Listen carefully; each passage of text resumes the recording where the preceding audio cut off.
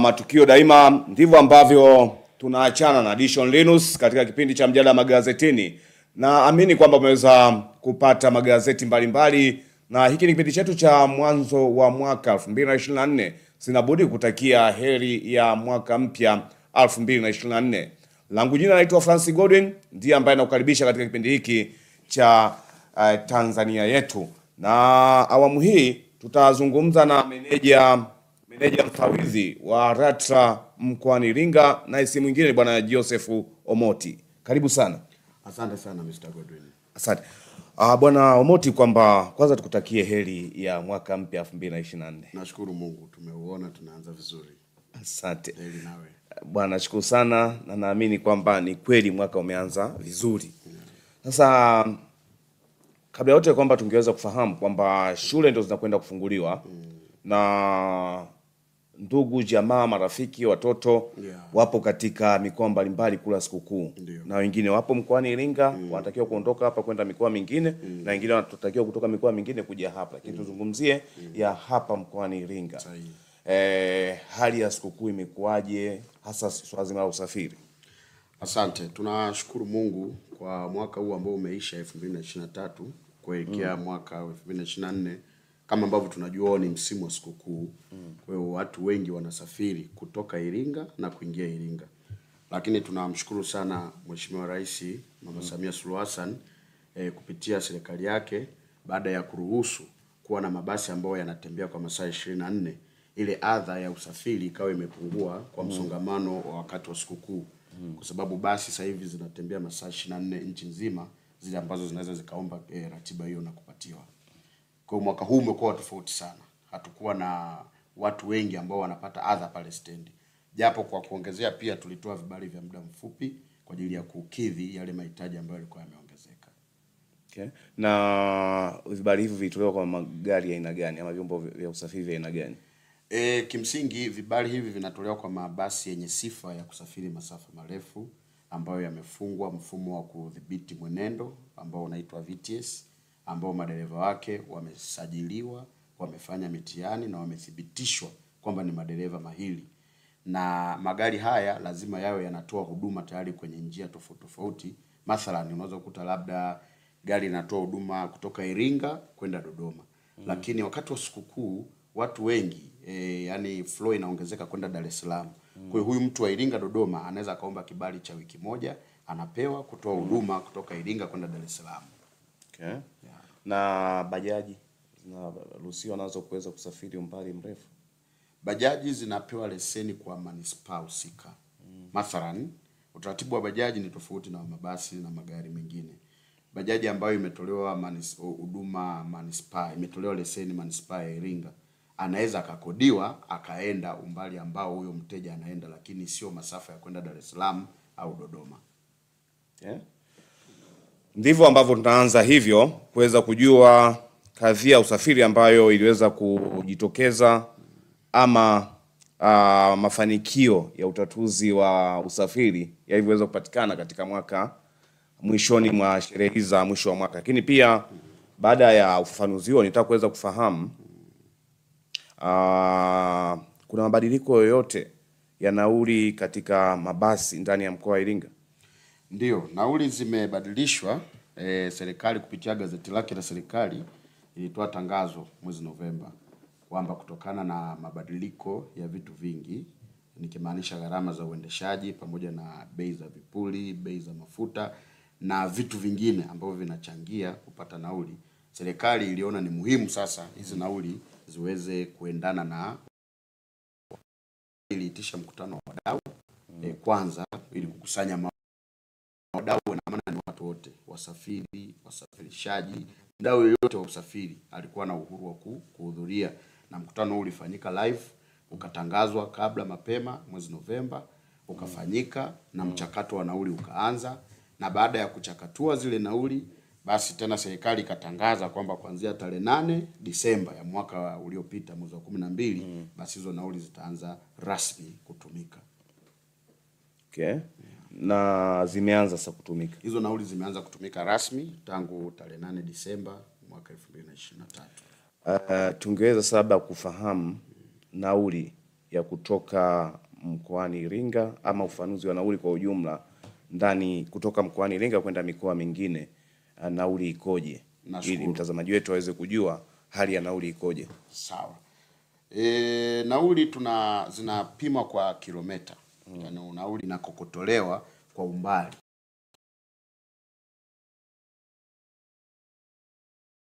Ni shilingi arobaini na nane nukta arobaini na saba. Kwa barabara ya vumbi kilomita hiyo moja ni shilingi hamsini na tatu nukta thelathini na mbili lakini kwa yale yani mabasi wanaita ya kawaida ordinary Mm, mm. tunayo yale mabasi ya semi luxury Mm. yale ni shilingi sitini na saba nukta nane nne kwa kilomita kwa hiyo mathalan ukisema umbali wa kutoka hapa na Dodoma kilomita mia mbili sitini abiria atalipa shilingi elfu kumi na tatu kama atapanda mabasi haya ya kawaida ambayo yana viti vi, viwili kwa vitatu au zaidi au pungufu ya hapo, lakini kwa yale mabasi makubwa ambayo ni wanaita ni daraja la kati semi luxury mm. yule basi atalipa shilingi elfu kumi na tisa yeah. Kulikuwa na nauli ambayo ilikuwa imetangazwa mwanzoni kabla hujaendelea maeneo mengine. Kwamba tuliambiwa kutoka Iringa Dodoma ilisambaa sana kwamba nauli shilingi elfu hamsini na saba. Ni kweli hiyo mambo ilikuwa inafanyika, lakini ni kinyume na utaratibu, na kama mamlaka tulifanya ukaguzi baada ya kupata hizo tetesi, na kuna watu ambao tuliwakamata, na tulivyowakamata kuna orodha ya mabasi ambayo mengi tu yalikamatwa yakatozwa faini na zile nauli wakarudishiwa wale abiria ambazo zimezidi kwa mujibu ya sheria ya kanuni ya thelathini ya sheria za usafirishaji za mwaka elfu mbili na ishirini. Msafirishaji haruhusiwi kuzidisha nauli. Kwa hivi kutoka Iringa Dodoma nauli sahihi kwa basi luxury ni shilingi ngapi? Kwa basi luxury ni shilingi elfu kumi na tisa tu? tu. Okay. Kwa basi haya ya kawaida eh, ni shilingi elfu kumi na tatu na nashukuru kuna wasafirishaji wengine wameandika kabisa mlangoni kwamba nauli ya Dodoma ni shilingi elfu kumi na tatu. Kwa hiyo hata abiria anapoingia pale mlangoni ataona kabisa imeandikwa nauli ni shilingi elfu kumi na tatu kwa haya mabasi ya kawaida. Haya, haya. Mkoa mwingine Iringa, Morogoro. E, tunayo chati hapa ambayo Yeah, tunaweza tuka- nafikiri ungeisoma yote kwa ujumla. Aha, okay sawa. Yeah. Ngoja nisome chati yote ili kwamba wananchi wa, waweze ku, kui, kui, kui, kuiangalia. Tunachosisitiza katika masuala ya kusafiri mm. Tunamsihi sana abiria aweze kuwa na tiketi ambayo imetolewa na mashine yani ya tiketi ya elektroniki mm. Hii itampa uhalali wa yeye kuwa abiria halali mm. na kama atanyimwa tiketi hiyo, basi tutatoa namba zetu za simu hapo baadaye, ataweza kutujulisha moja kwa moja ili kwamba tuweze kuchukua hatua okay. Lakini kwa mabasi yote yanayotoka mkoa mmoja kwenda mwingine mm. kwa mujibu wa sheria mm. ni lazima wawe wanatoa tiketi zinazotolewa na mashine. Okay. Na yawezekana basi alina tiketi ya mashine, kuna tiketi za ambazo ni, ni, ni tiketi za basi husika. hizo tiketi za basi husika kwa mkoa mmoja kwenda mwingine haziruhusiwi kabisa mm. na hata serikali ilishakuwa imetoa matangazo kwamba vitabu hivyo visitumike kabisa kwa sababu moja kwa dunia tulionayo sasa hivi mm. ile tiketi inayoandikwa na mashine. Kwanza inamlazimisha yule anayeandika aandike jina sahihi la abiria namba ya simu anapotoka anapokwenda na nauli halali ina print pale kwa hiyo inapunguza wigo mpana wa abiria kuzidishiwa nauli lakini pia inapunguza kutokuwa na sintofahamu. Mathalan mm. e, tukitaka kujua leo asubuhi mm. kwenye basi namba XXXB watu wangapi, ni wakina nani wamesafiri mm. mtu anapokata tiketi ya mashine pale, zile taarifa zinaenda serikalini moja kwa moja. Kwa hiyo muda wowote mtu anaweza akajiridhisha, hata ikitokea dharura kwa ajili ya usalama. Kuna watoto sasa hivi wanasafiri, wanafunzi, lakini taarifa zikiwa zimewekwa pale na yule msafirishaji akijua kwamba taarifa za abiria wangu ziko wazi, kunakuwa kuna umakini fulani unaongezeka. Kwa hiyo tuna tu, ukiachana kwamba ni kosa kisheria, tunatoa rai sana kwa abiria mm. kwa sababu tunafanya kazi kwa ku, kwa kushirikiana Yeah. lazima abiria watambue kwamba unapotoka mkoa mmoja kwenda mwingine lazima upewe tiketi ya mashine au electronic ticket.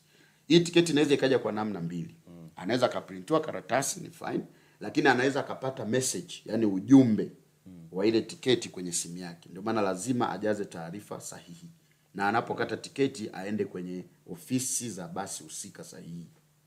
Okay. Yeah. Yeah. Nikirudi kwenye swali lako ndugu yangu Godwin, tunazo nauli hapa ambazo zipo amba tuzitangaze rasmi kama ambavyo tumekuwa Yeah. tukumbushana mara kwa mara, na mtu yoyote anaweza akazipata. Ziko kwenye Google, ukienda tu kwenye Google kama unatumia simu kubwa Yeah. ukaandika nauli za LATRA zitakuja pale, utadownload download PDF faili refu sana, ziko za nchi nzima Okay. utaishusha chini, utatafuta Iringa mkoa wako uko wapi, lakini inaelekeza nchi nzima. Mkoa wote wa Tanzania. Yeah. basi kwa kuwa tunahusika sana na Iringa Yeah. naomba tu, tuende na mikoa yetu ambayo yeah, inatoka eh, eh, kutoa mabasi yanasafiri kutokea Iringa. Tutaanza na mm, safari ya Iringa kwenda Arusha kupitia Chalinze. E, kwa basi la kawaida ni shilingi 45,000. Kwa basi la daraja la kati ni shilingi elfu sitini na tatu.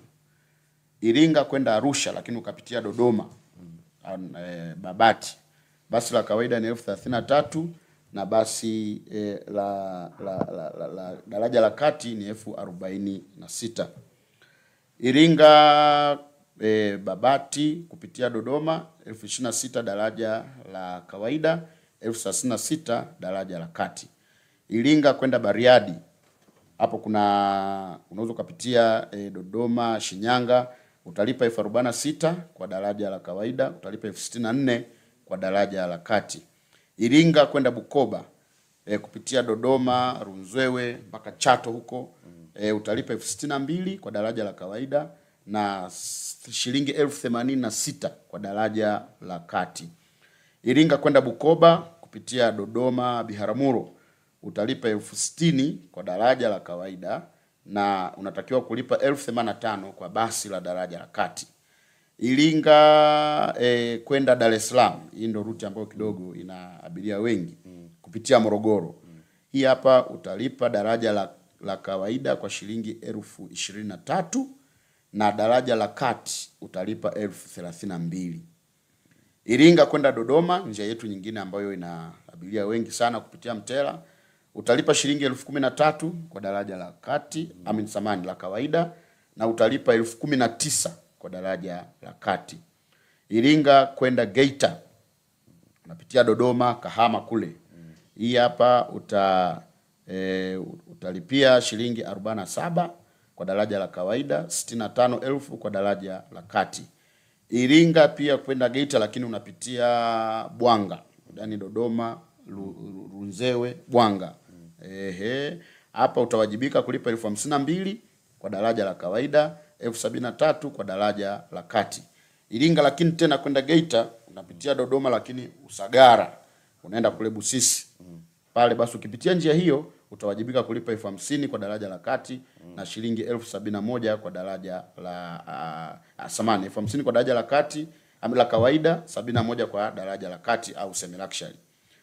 Haya, kuna wananchi ambao wanasafiri kutoka Iringa wanaenda maeneo ya Kibaha kupitia Morogoro. Hawa wanatakiwa kulipa shilingi elfu ishirini na mbili kwa daraja la kawaida, lakini watalipa elfu thelathini na moja kwa daraja e, la, la kati. Tunaenda Iringa, Kigoma. Hapo unaweza ukapitia Dodoma, Itigi, Tabora. Hapo utalipa shilingi elfu hamsini na mbili kwa daraja la kawaida, lakini utawajibika kulipa shilingi elfu sabini na tatu kwa semi luxury ama daraja la kati. Njia tena ya kwenda Kigoma kutokea Iringa ya kupitia Kahama, Nyakanazi mm. utalipa elfu sitini na tano kwa daraja la kawaida, utalipa elfu tisini kwa daraja la kati. Iringa kuelekea mkoani Lindi kupitia Chalinze Dar es Salaam kwa daraja la kawaida utalipa elfu arobaini na saba kwa daraja la kati au semi luxury utalipa shilingi elfu sitini na tano. Iringa kwenda Lindi kupitia Songea utalipa shilingi elfu hamsini na moja kwa daraja la kawaida, utalipa elfu sabini na mbili kwa daraja la kati. Tunakuja mkoa mwingine ambao pia tuko nao karibu au kuna watu wengi wanasafiri, ni hao wananchi wanaoenda mkoa wa Mbeya. Kutoka Iringa kwenda Mbeya kupitia Makambako utawajibika kulipa elfu kumi na sita elfu kumi na sita kwa daraja la kawaida, alafu shilingi elfu ishirini na mbili kwa daraja la kati. Iringa eh, kwenda Morogoro pia tuna watu wengi wanapita njia hiyo. Utapitia Mikumi utalipa shilingi elfu kumi na tano kwa daraja la kawaida, lakini elfu ishirini na moja kwa daraja la kati. Iringa kwenda Moshi, hapo pia tuna wadau wengi wanatumia e, usafiri huu e, lakini wanaopitia wengi ni Dodoma na Babati ambao watatakiwa kulipa elfu thelathini na saba kwa daraja la kawaida na elfu hamsini na moja kwa daraja la kati. Iringa kwenda Moshi kama utapitia Chalinze e, utalipia shilingi elfu arobaini na moja e, kwa daraja la kawaida na elfu hamsini na saba kwa daraja la kati. Tunaenda mikoa ya huku kusini kabisa, kuna Iringa kwenda Mpanda, hapo unapitia Sumbawanga, Kibaoni, utalipa elfu arobaini na tano kwa daraja la kawaida, utalipa elfu sitini na mbili kwa daraja la kati. Iringa Mpanda, lakini kama utapitia Liamfipa, Liamba Liamfipa kule, nafikiri unapafahamu Yeah. Liamba Liamfipa ukipita utatakiwa kulipa elfu arobaini na tano kwa daraja la kawaida na elfu sitini na mbili kwa daraja e, la kati. Kuna Iringa kwenda Mtwara kupitia Morogoro, Dar es Salaam utawajibika kulipa shilingi elfu hamsini na moja kwa daraja la kawaida na elfu sabini na moja kwa daraja la kati. Iringa kwenda Mtwara, lakini wewe unataka e, e, kupitia Songea Masasi utalipa elfu hamsini na moja kwa daraja la kawaida, elfu sabini na moja kwa daraja la kati. Kuna Iringa kwenda Msoma kanda ya Ziwa huko, lakini umepitia Dodoma, umepitia Mwanza, basi unatakiwa kulipa shilingi elfu hamsini na saba kwa daraja la kawaida na elfu sabini na tisa kwa daraja la kati. Iringa kwenda Msoma, lakini ukapitia Dodoma, Shinyanga, ukakunja Bariadi, unatakiwa kulipa shilingi hamsini na nne elfu kwa daraja la kawaida na shilingi elfu sabini na tano kwa daraja e, la kati. Tunaenda Iringa Mwanza. E, hapa unapitia Dodoma ambapo utawajibika kulipa shilingi elfu arobaini na saba e, kwa daraja la kawaida na shilingi sitini na tano elfu kwa daraja la kati. Kuna Iringa Njombe, ni njia nyingine ambayo pia ina wadau wengi sana. Wa, watu wengi wana, wana, wana mahusiano na wanasafiri sana kwenda Njombe. Kutoka Iringa kwenda Njombe, abiria anatakiwa kulipa shilingi elfu kumi na moja kwa daraja la kawaida, basi la kawaida, lakini anatakiwa kulipa elfu kumi na tano kwa lile daraja la kati Hiyo Iringa kwenda Njombe kupitia Makambako ni elfu kumi na moja daraja la kawaida, elfu kumi na tano daraja lile daraja basi la daraja la kati. Okay. Iringa kwenda Singida kupitia Dodoma e, atalipa shilingi elfu ishirini na tano daraja la kawaida, elfu thelathini na tano daraja la kati. Iringa kwenda Shinyanga kupitia Dodoma atalipa elfu thelathini na tisa daraja la kawaida, elfu hamsini na nne daraja la kati. Lakini kuna Iringa kwenda Songea unapitia Makambako, daraja la kawaida utalipa elfu ishirini na mbili na daraja la kati utalipa elfu thelathini na moja. Iringa kwenda Sumbawanga kupitia mkoani Mbeya, hapa utalipa elfu thelathini na mbili kwa daraja la kawaida, lakini utalipa elfu arobaini na tano kwa daraja la kati. Kuna Iringa kwenda Tabora kupitia eh, Dodoma utalipa shilingi elfu thelathini na mbili kwa daraja la kawaida na elfu arobaini na nne kwa daraja la kati. Kuna Iringa kwenda Tanga lakini ukapitia Chalinze utawajibika kulipa elfu shilingi elfu thelathini kwa daraja la kawaida na elfu arobaini na tatu kwa daraja la, la, la kati. Tumalizie na Iringa kwenda mkoani Songwe yes. Eh, Vwawa pale kupitia mkoa wa Mbeya utalipa elfu kumi na tisa kwa basi la daraja la kawaida na utalipa shilingi elfu ishirini na saba kwa basi la daraja la kati. Kwa hiyo hiyo ni mikoa yote kutoka Iringa na nauli zake na aina mbili ya mabasi. Labda tu kufafanua kidogo e, dalili kuna sifa nyingi ziko kama kumi na saba za madaraja ya mabasi ili mwananchi ajue ni basi la aina gani, lakini kuna sifa nyingine ambazo ziko wazi kati ya hizi kumi na saba. Mojawapo ya kutofautisha e, kuna mabasi ambayo yana viti vitatu kwa viwili Yeah. haya ni mabasi ya kawaida mm. kuna mengine unakuta pale wana, yani wanakaa watu watano kwenye mstari hiyo mm. ni dalili ya kwanza kubwa ijapokuwa ziko dalili kumi na saba za kupanga daraja la basi ila kubwa sana ya haraka haraka ambayo mwananchi hawezi kumsumbua ni hiyo kwamba wanakaa watu e, wawili kwa watatu. Yaani huku inakuwa watu wawili huku watatu. Kwa mstari mmoja wamekaa abiria watano. Lakini hizi basi za daraja e, la kati semi luxury dalili mmojawapo kati ya dalili kumi na saba Yeah. ni kwamba wanakaa watu wawili huku wawili huku. Sio watu watano. sio watu watano. Na pale katikati pasiwe na ndoo pasiwe na kiroba yani pasiwe na chochote. Ni watu wawili huku wawili huku. Kwa hiyo ni dalili ya kwanza ambayo abiria inaweza ikamsaidia eh, kuweza kutambua naposema daraja la kati, daraja la kawaida, semi luxury na ordinary. Sasa hiyo daraja la kati kwamba lina siti mbili Ndio, na katikati hatakiwi kuwepo siti. ndio. Ikitokea labda basi ni kweli daraja la kati lakini limejaza watu hadi hapa katikati, unakuwa katika daraja gani hiyo? Nastahili kulipa nauli ile ya, ya daraja la kati? E, Hicho hicho kitendo ni kinyume na sheria ya usafirishaji, kanuni za usafirishaji za mabasi ya abiria za mwaka elfu mbili na ishirini haziruhusu basi kupakia abiria zaidi ya idadi iliyoainishwa kwenye kadi ya gari. Kwa hiyo kama basi linatakiwa kupakia watu hamsini, mm. wewe ukakuta wale hamsini wamekaa, lakini kuna watu kumi na saba wamesimama kiutaratibu wa kisheria wanatakiwa kwanza, mwenye basi anatakiwa achukuliwe hatua kwa mujibu wa kanuni ya kuzidisha abiria na faini yake ni laki mbili na nusu, lakini hao abiria wanatakiwa washuke, watafutiwe usafiri mwingine na nauli zao warudishiwe. Sasa yawezekana uh, mlalamikaji si yule aliyesimama, mlalamikaji anakuwa yule aliyekaa. Na majibu mara nyingi ya, ma, ya makondakta wa huduma wa gari kwamba hmm. mzee au wewe unasumbuka nini sikiti chako umekaa. Nini wito wako kwa abiria? Wito wangu ni kwamba ikitokea hali kama hiyo, hatuwezi tukamwambia amshushie nauli kwa sababu amezidisha abiria. Hapana, ila tu sheria amini, hatua zichukuliwe kwa mujibu wa sheria kwamba na uabiria wakizidi nini kifanyike. Kwa hiyo lakini ndio maana tunatoa mawasiliano kwamba abiria anapoona kuna watu wamesimama kwenye gari na wanaenda safari ndefu, tunaomba tujulishe kwa hizi namba zetu ambazo tumezitoa Na akiwa anaenda safari fupi, wakiwa wanaenda safari fupi vile vile, kwa sababu kujaza abiria sio tu kwenye gari, hata kwenye bajaji, kwenye pikipiki, yani chombo chochote cha moto hakiruhusiwi kupakia abiria kwa idadi ambayo inazidi maelekezo yaliyoandikwa kwenye kadi kwa ajili ya usalama wa, wa abiria. Ikitokea hivyo, tunawasiliana, tunachukua hatua. swali so, langu ni kwamba hii gari tumesema daraja la kati Ndio, au hili gari ni luxury ndio. Semi luxury tunaita. semi luxury Eh, luxury ni daraja lingine. Yeah. Eh, Ndio. Inaweza ikawa luxury pia. Sifa ya luxury inajulikana. Sifa ya semi luxury inajulikana. Lakini sifa ya ordinary basi inajulikana. Ndio. Sasa kwa basi ambayo ni luxury mm. au semi luxury mm. likiwa limepakia abiria kama ordinary bus, basi hilo linakuwa bado semi luxury au luxury bus. kwa sababu kwanza lile basi linaendelea kuwa ni semi luxury basi, kwa sababu wale watu kwanza hawajakaa wamesimama. Sasa sitting capacity, yani idadi ya gari kubeba na viti vilivyomo ndio vinavyo ni moja ya kigezo cha kuweka daraja la basi.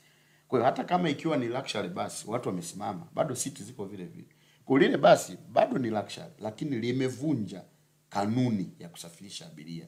Ndio maana inatakiwa irekebishwe ili kosa ambalo limetengenezwa, lakini daraja la basi linabaki pale pale. Sasa kama kanuni zimevunjwa na huyu abiria ameshaelekezwa kwamba basi luxury linakuwa hivi, semi luxury linakuwa hivi, mm. halijawa hivyo, nalipa nauli ya luxury, semi luxury au nalipa la ordinary bus? lazima ulipe nauli ya luxury kwa sababu umepanda basi la luxury ambalo limevunja kanuni za luxury. Lakini halina sifa za luxury bus. Ndio maana linawajibishwa.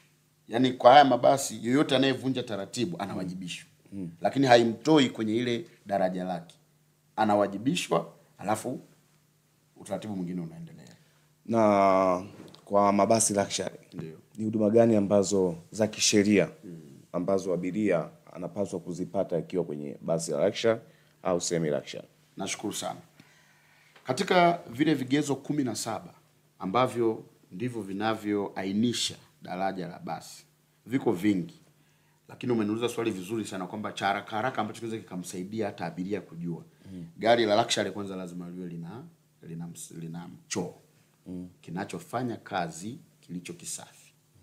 Gari la luxury lazima liwe lina eh, AC nzuri, liwe lina huduma ya vinywaji, yani tunamaanisha kuna ile fridge, mm. kunaweza kuwa kuna ka fridge kadogo kameweka eh, vinywaji pale vya abiria, lakini pia hita. Kuna mikoa yetu kuna baridi, abiria anaweza kaomba kahawa, yuko anapita Makambako pale, mm. lazima msafirishaji ampatie, sababu kanuni inamtaka ukitaka basi luxury lazima liwe lina vitu hivi ambavyo ni kumi na saba mojawapo hivyo vitatu vikubwa ambavyo huwezi kuviona kwenye mabasi mengine ni choo ambacho mm. kinafanya kazi muda wote mm. alafu fridge mm. na heater na, it- na friji iliyo na vinywaji. na liwe na vinywaji Mtu akitaka bia, akitaka nini, kujiachia. sasa bia bi- bia tunajua mida ya kazi itaharibu safari ni, vinywa, ni vile vinywaji ambavyo ni soft Anayekunywa abiria, anayekunywa msafiri. anakunywa abiria lakini anaweza kaanza kutukana watu ikatokea ajali. Kwa hiyo tunaposafiri mm.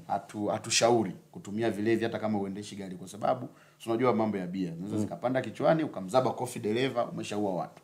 Eh, Kwa hiyo ni vinywaji soft drinks, juisi, soda, maji, chai, vitu kama hivyo. Na ni hatua gani ambazo sasa zinachukuliwa kwa abiria ambaye atabainika kisafiri na kilevi au amelewa ndani ya basi? E, kwa, kwa, kwa, kwa upande wa sheria kwa upande wa sheria nijuavyo, abiria hawezi kuchukuliwa hatua kwa sababu sheria haijaainisha yeye sio mwendeshaji, ila angekuwa ni dereva angechukuliwa hatua, angepimwa, angechukuliwa hatua, angeandikiwa faini, angetafutwa dereva mwingine. Ndio maana haya mabasi yanatembea na madereva ameni na madereva wawili wawili, kwamba ikitokea dharura mmoja anafanya hivi, lakini kwa abiria atakachofanya ni kudhibitiwa tu, bwana, tulia, tumalize safari.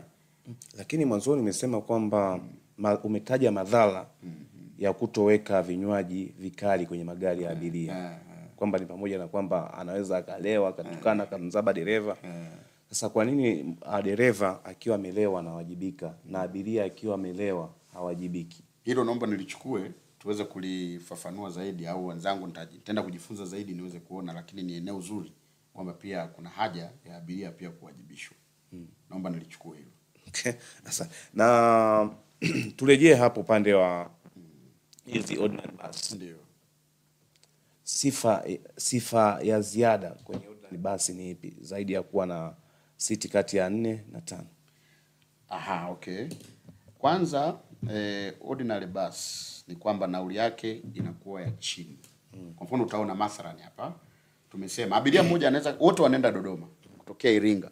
Kuna mtu atalipa elfu kumi na tisa kuna mtu atalipa elfu kumi na tatu tofauti ya elfu sita Kwa hiyo nauli pia ni kigezo mojawapo cha kujua kwamba hili basi ni la kawaida, lakini kuna yale matakwa ya kawaida kwamba tu basi linakuwa liko salama ambalo lime limekaguliwa. Na kiufupi, mabasi mengi haya madogo madogo yenye injini nyuma nini, yote haya mengi, asilimia karibia tisini na tisa yanaangukia kwenye e, daraja la kawaida, na mabasi mengi ya daraja la kati ni makubwa, mengi ni makubwa, japokuwa sio mabasi yote makubwa ni daraja la kati na sio mabasi yote madogo ni daraja la kawaida. Lazima uangalie vile vigezo kumi na saba. Je, inakidhi kuwe na mapazia? Kwa mfano kwenye daraja la kati kuwe kuna kuna kiyoyozi, AC, vitu vyote hivi kuwe kuna TV zilizopungua mbili, ndio vinafanya kwamba angalau basi linakuwa daraja hili. Lakini umeingia kwenye basi halina hata TV eh, kwa ina maana hilo ni daraja la kawaida linakupa tu huduma ya kusafiri, lakini katika viwango.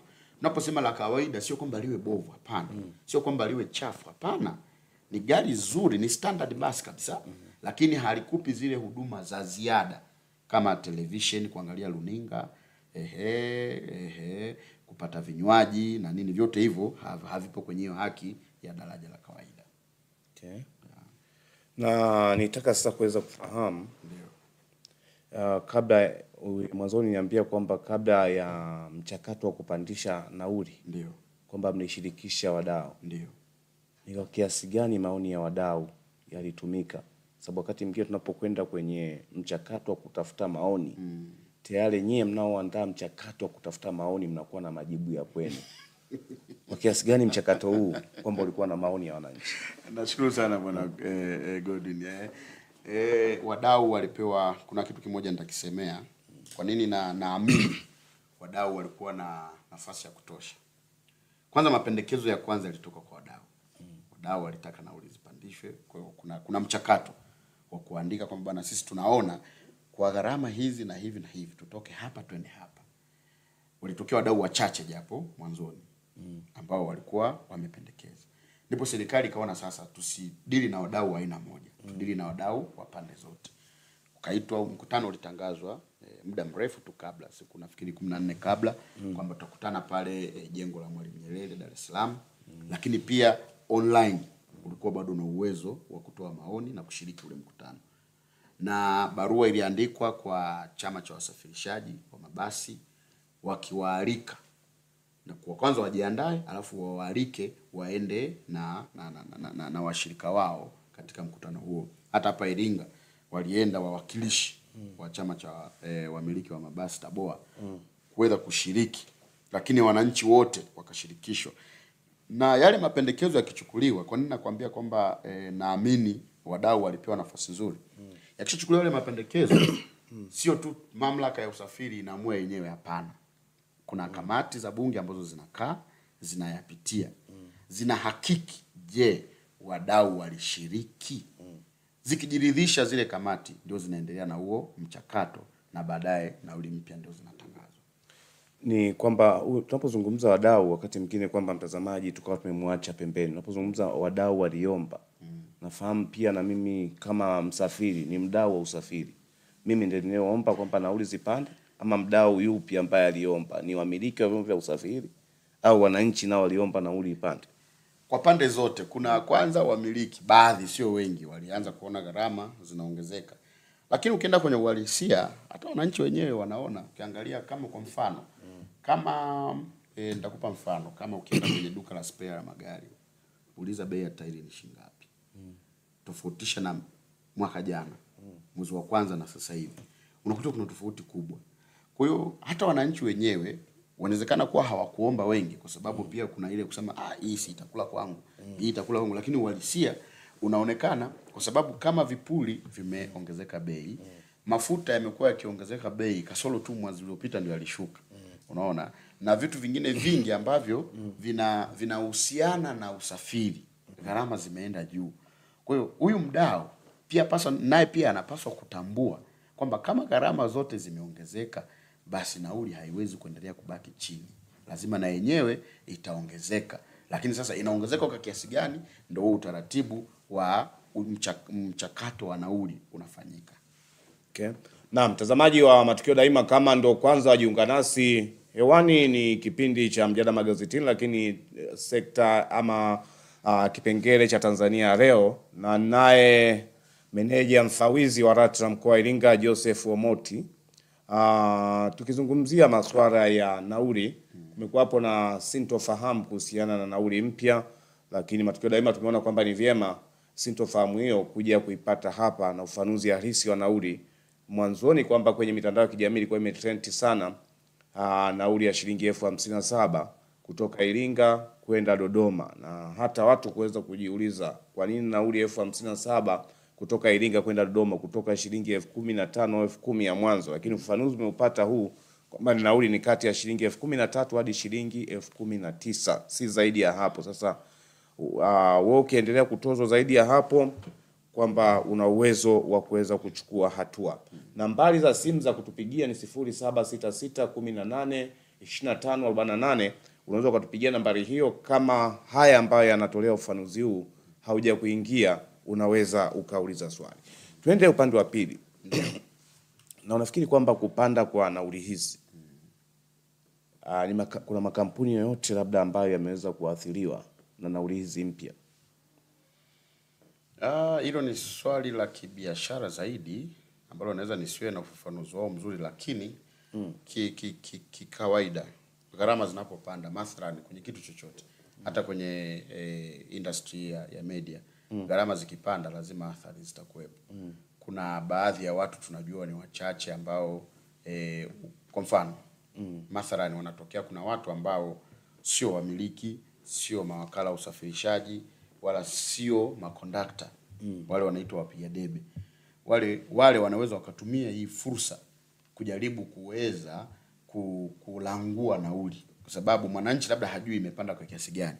Kwa hiyo kutana naye stendi, anachokimbilia na kulangua. Ndio maana tuka serikali ikaona kwamba hizi tiketi za kuandika kwa mkono zisitumike kabisa. Yaani mwananchi asikubali kupokea tiketi iliyoandikwa kwa mkono anapotoka mkoa mmoja kwenda mwingine. Asante. okay. Nimpate mmoja kati ya wadau wa usafiri na huyu si mwingine, atakwenda kujitambulisha. Ah, habari ya kwako? Jema kabisa, salama kabisa. Asante. Hapa ni Matukio Daima, na wakati huu kwamba ninaye meneja msawizi wa RATRA mkoa wa Iringa Joseph Omoti, na kubwa tukijadili kuhusiana na swala zima la nauli mpya. Karibu uweze kujitambulisha na swali lako kwake. Okay, kwa jina naitwa Saidi Ngamilo, ni mdau wa usafiri kwa maeneo ya Iringa Pawaga. Karibu kwa swali, anakusikia. Asante.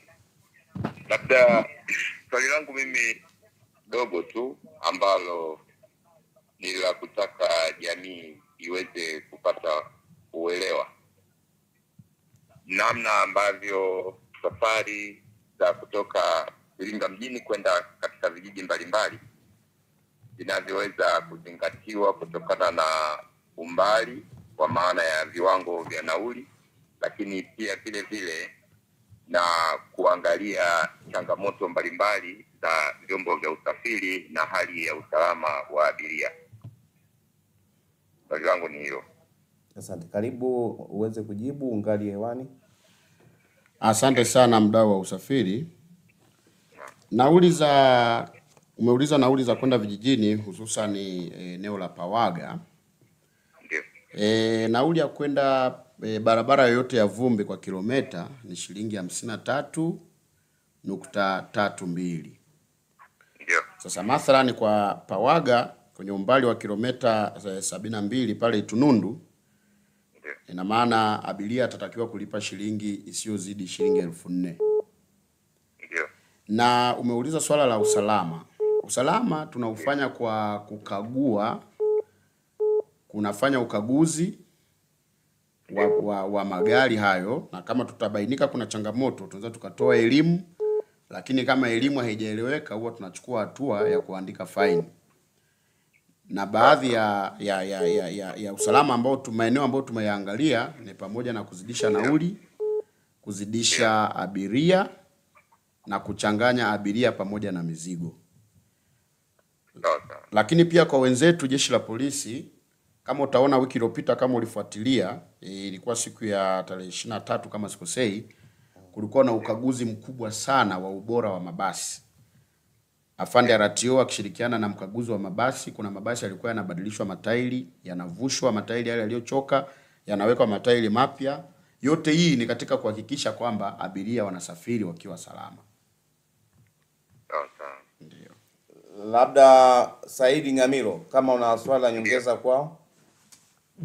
Ah, Swali la nyongeza kwangu mimi ni kwamba tuiombe basi ofisi ya RATRA Ndio. iweze kufikisha taratibu na kanuni angalau kwa uchache za uelewa Ndio. katika ngazi zote za vijiji husika kutokana na kutokuwa na sintofahamu juu ya wajibu au nani yani utaratibu ambao unatakiwa utumike na haki Mm. ya abiria kutoka sehemu mpaka sehemu nyingine. Kwa mfano Mm. tunapozungumzia habari ya umbali wa kutoka eneo moja kwenda eneo lingine mm. na kiwango cha nauli Mm. kuwa wazi, ili vinapofikia kwamba watu wanaingia makubaliano ya ku, ya kwenda zaidi ya hapo, ni kwa sababu Mm. wao wote wameshiriki kujua kwamba tunalipa hivi kwa sababu hizi, ili pengine mwendesha yani mtoa mtoa huduma aendelee kutoa huduma kwa sababu huduma inatolewa labda katika mazingira magumu, lakini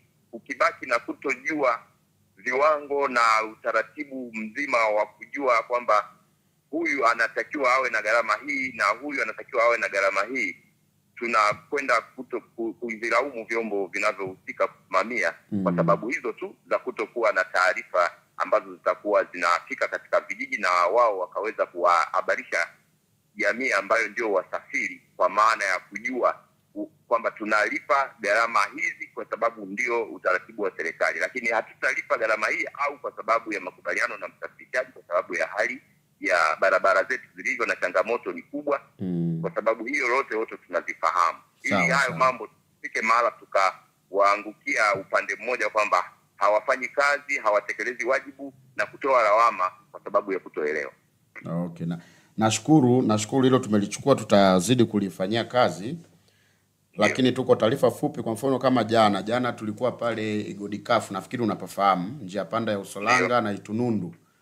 Tulijaribu kukutana na wananchi wachache, japokuwa wengi walikuwa kwenye shughuli za kilimo, lakini tutaendelea tutaendelea kwenda kwa sababu wengi hata kwenye hizi redio na media wengi hawasikilizi ambamo tumekuwa tukifanya. Kwa hiyo tuna mpango wa kupita na tumeshauanza, yani huu mpango ambao nakuelezea ambao ndo tumeuanza, tunajaribu angalau kwenda hata kwa waheshimiwa madiwani. Kwa mfano mheshimiwa diwani wa, wa, wa, wa, wa Kalenga tulishakutana naye, lakini pia tunataka tupitie kwenye kata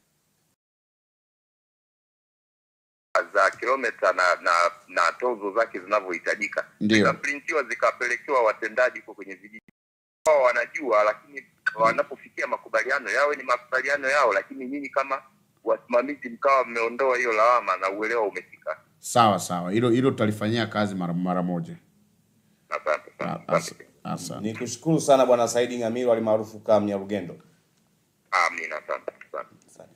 Mtazamaji wa Matukio Daima, bado tunapokea simu kutoka kwako, na kama una maoni ama ushauri kuhusiana na RATRA namna inavyofanya kazi, lakini pia juu ya swala hili la nauli mpya, waweza kutupigia namba hizo hapo chini 0766 1825 na 45. Hizo ndizo namba mm. za kuweza kutupigia hapa na ukajibiwa kwa chochote, lakini kama umeridhika na ufafanuzi ambao unatolewa napo uh, ishara kwa Uratra katika kuendelea kutoa elimu hii ambayo pasipo shaka inakusaidia wewe mtazamaji. Twende kwako bwana af, afisa mfawizi wa Ratra. Ndio. tu labda viwango viwango hivi vya nauli sasa. Ndio. Umezungumzia viwango vya nauli upande wa mabasi Yeah. na upa, upande wa daladala. Nashukuru. E, naomba tuhamie upande wa daladala ambayo pia ni sehemu yetu ambayo ina wadau wengi na hasa e, kutoka manispaa lakini pia wanaoenda wanaoenda nje kidogo ya manispaa. E, katika daladala utaratibu uko tofauti kidogo. Zile kilomita tunatumia kwa magari yanayoenda masafa marefu.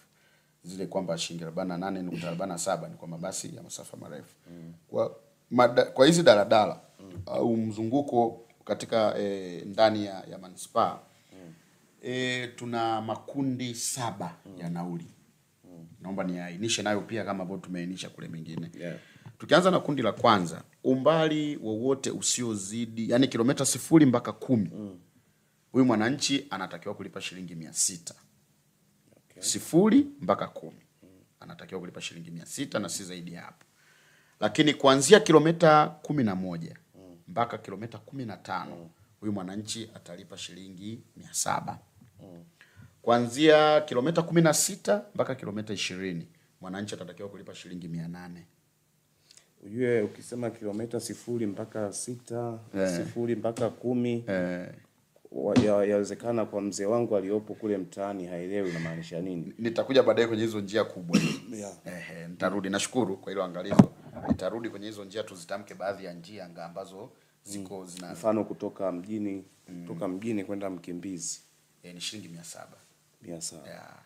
na kutoka kutoka Nduli kuja mjini bado ni shilingi mia, mia nane nduli okay. yeah. Okay.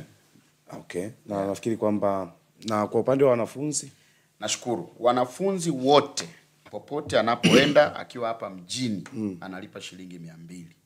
Nauli ya wanafunzi haijaongezeka, na kuna baadhi ya watu tulikuwa tumewakamata katika eh, operation zetu mm. kwamba walikuwa wanataka wanafunzi walipe shilingi mia tatu. Tuliwachukulia hatua kwa mujibu wa sheria, lakini nauli ya wanafunzi haijabadilika, ni shilingi mia mbili. Na nauli hizi za wanafunzi kwenye daladala ni pamoja na bajaji. Sasa tunakuja kwenye swali zuri. Kiutaratibu na kisheria, bajaji ni usafiri wa kukodi mm. hauna tofauti na teksi kisheria. Ndio maana mtu anayeingia kwenye bajaji ni kwamba yule amekodi mm. hapandi kama daladala. Ndio maana hata sheria ziko tofauti. Hizi nauli za madaladala mm. nauli za mabasi zinapangwa mm. nauli ya bajaji haipangwi. Utaratibu wake ni kwamba yule dereva anakubaliana na, na yule anayeendesha kwamba bwana, mimi natoka Mkimbizi naenda Iringa mjini, ni shilingi ngapi? Je, ni elfu mbili ni elfu moja? Kwa sasa ndo ina, inatakiwa ifanye kazi hivyo.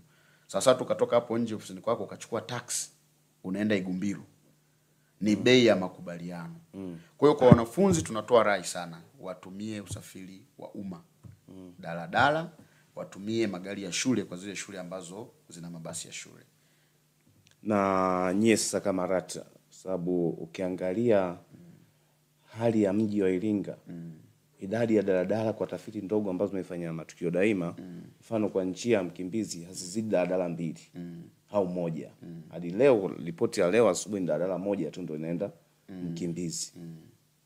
Sasa mna mkakati gani kwanza kuona wananchi wanapatiwa usafiri kule, na mna mkakati gani kuona sasa usafiri wa bajaji mm. unarasimishwa kwa usafiri wa, wa daladala badala ya kutumia kama bajaji? Asante, asante ndugu Godwin. E, labda nikupeka historia kidogo. E, tumekuwa tukitoa elimu kwa muda mrefu sana kwa wadau mm. wote wa usafiri mm. kwamba kuna umuhimu wa kuwa na usafiri wa umma ili mji uendelee, lazima uwe na aina zote za usafiri mm. kwa utaratibu uliowekwa. mm. Lazima kuwe kuna daladala, lazima kuwe kuna bajaji, lazima kuwe kuna pikipiki, mm. lazima kuwe kuna teksi, lazima kuwe kuna mabasi makubwa, lazima kuwe kuna maloli, mm. lazima kuwe kuna maguta ili kwamba mji ule mchanganuo wa usafirishaji uweze kuwa rahisi. Sasa Wanairinga tukiopti kwamba turasimishe bajaji zitoe huduma kama daladala, ndo madhara haya tunakuja kuyaona, kwa sababu kisheria, kwanza huwezi kurasimisha bajaji kutoa huduma kama daladala. mm. Sheria inakataa. Sheria ya usafirishaji ya vyombo vya kukodi ya mwaka elfu mbili na ishirini bajaji, pikipiki ni usafiri wa kukodi. mm. Tukiurasimisha tunapingana na sheria. Na mmefanya sasa research bajaji na daladala zipo nyingi kiasi gani mjini Iringa? mpaka sasa hivi tuna daladala tisini na saba. Ni kweli unachokizungumza, miaka mitano nyuma zilikuwa karibia mia mbili hamsini na zaidi. Mm.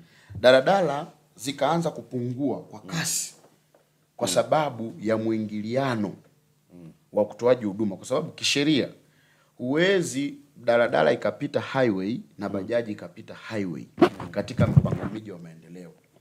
Tumetoa elimu, tumefanya kaguzi, tumezikamata mpaka leo tunazikamata kwa sababu ni kosa. Tukiruhusu hivyo, tunaua mfumo wa usafiri katika mkoa.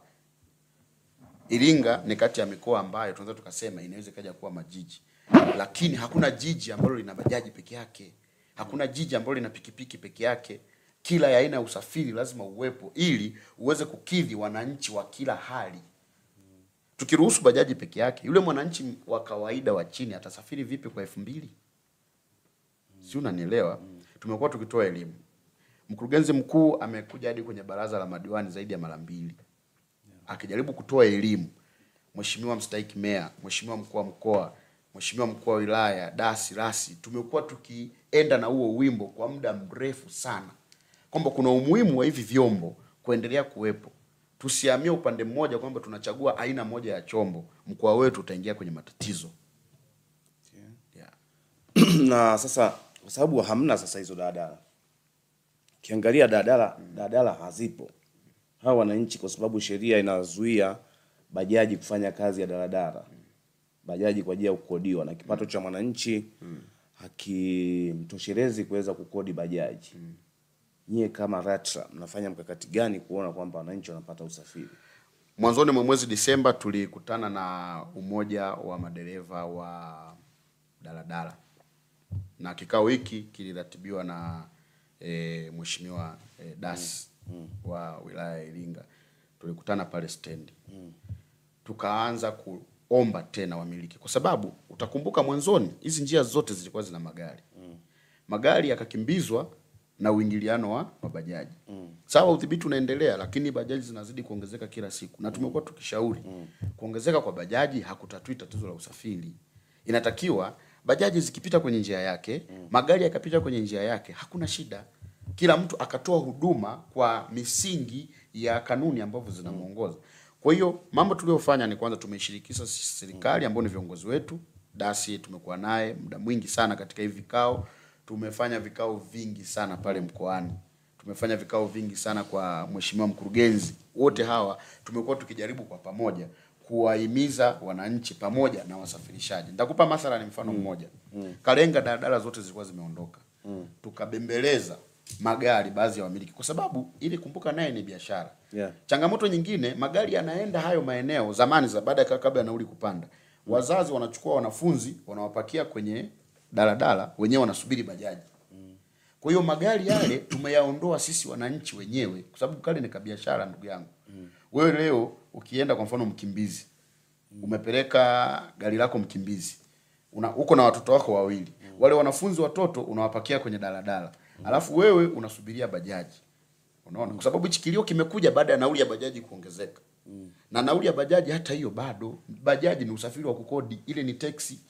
Kwa hiyo sisi tunachoomba baada ya kuongea na hao wamiliki, kuna njia ambazo zimeanza kupeleka magari mm. na hayana ruti hiyo, lakini tumeyaomba yaende kwa muda, kwa vibali vya muda. Asante, naomba tumsikilize huyu na a, karibu sana Jemida Kuranga kutoka Mkimbizi. Tunazungumza na meneja mfawizi wa LATRA mkoa wa Iringa Bwana Joseph omoti na tukizungumzia swala zima la nauli mpya, lakini kadhia ya daladala katika maeneo ya mji wa Iringa. Labda una swali ama ushauri kwa RATRA juu ya usafiri wa daladala?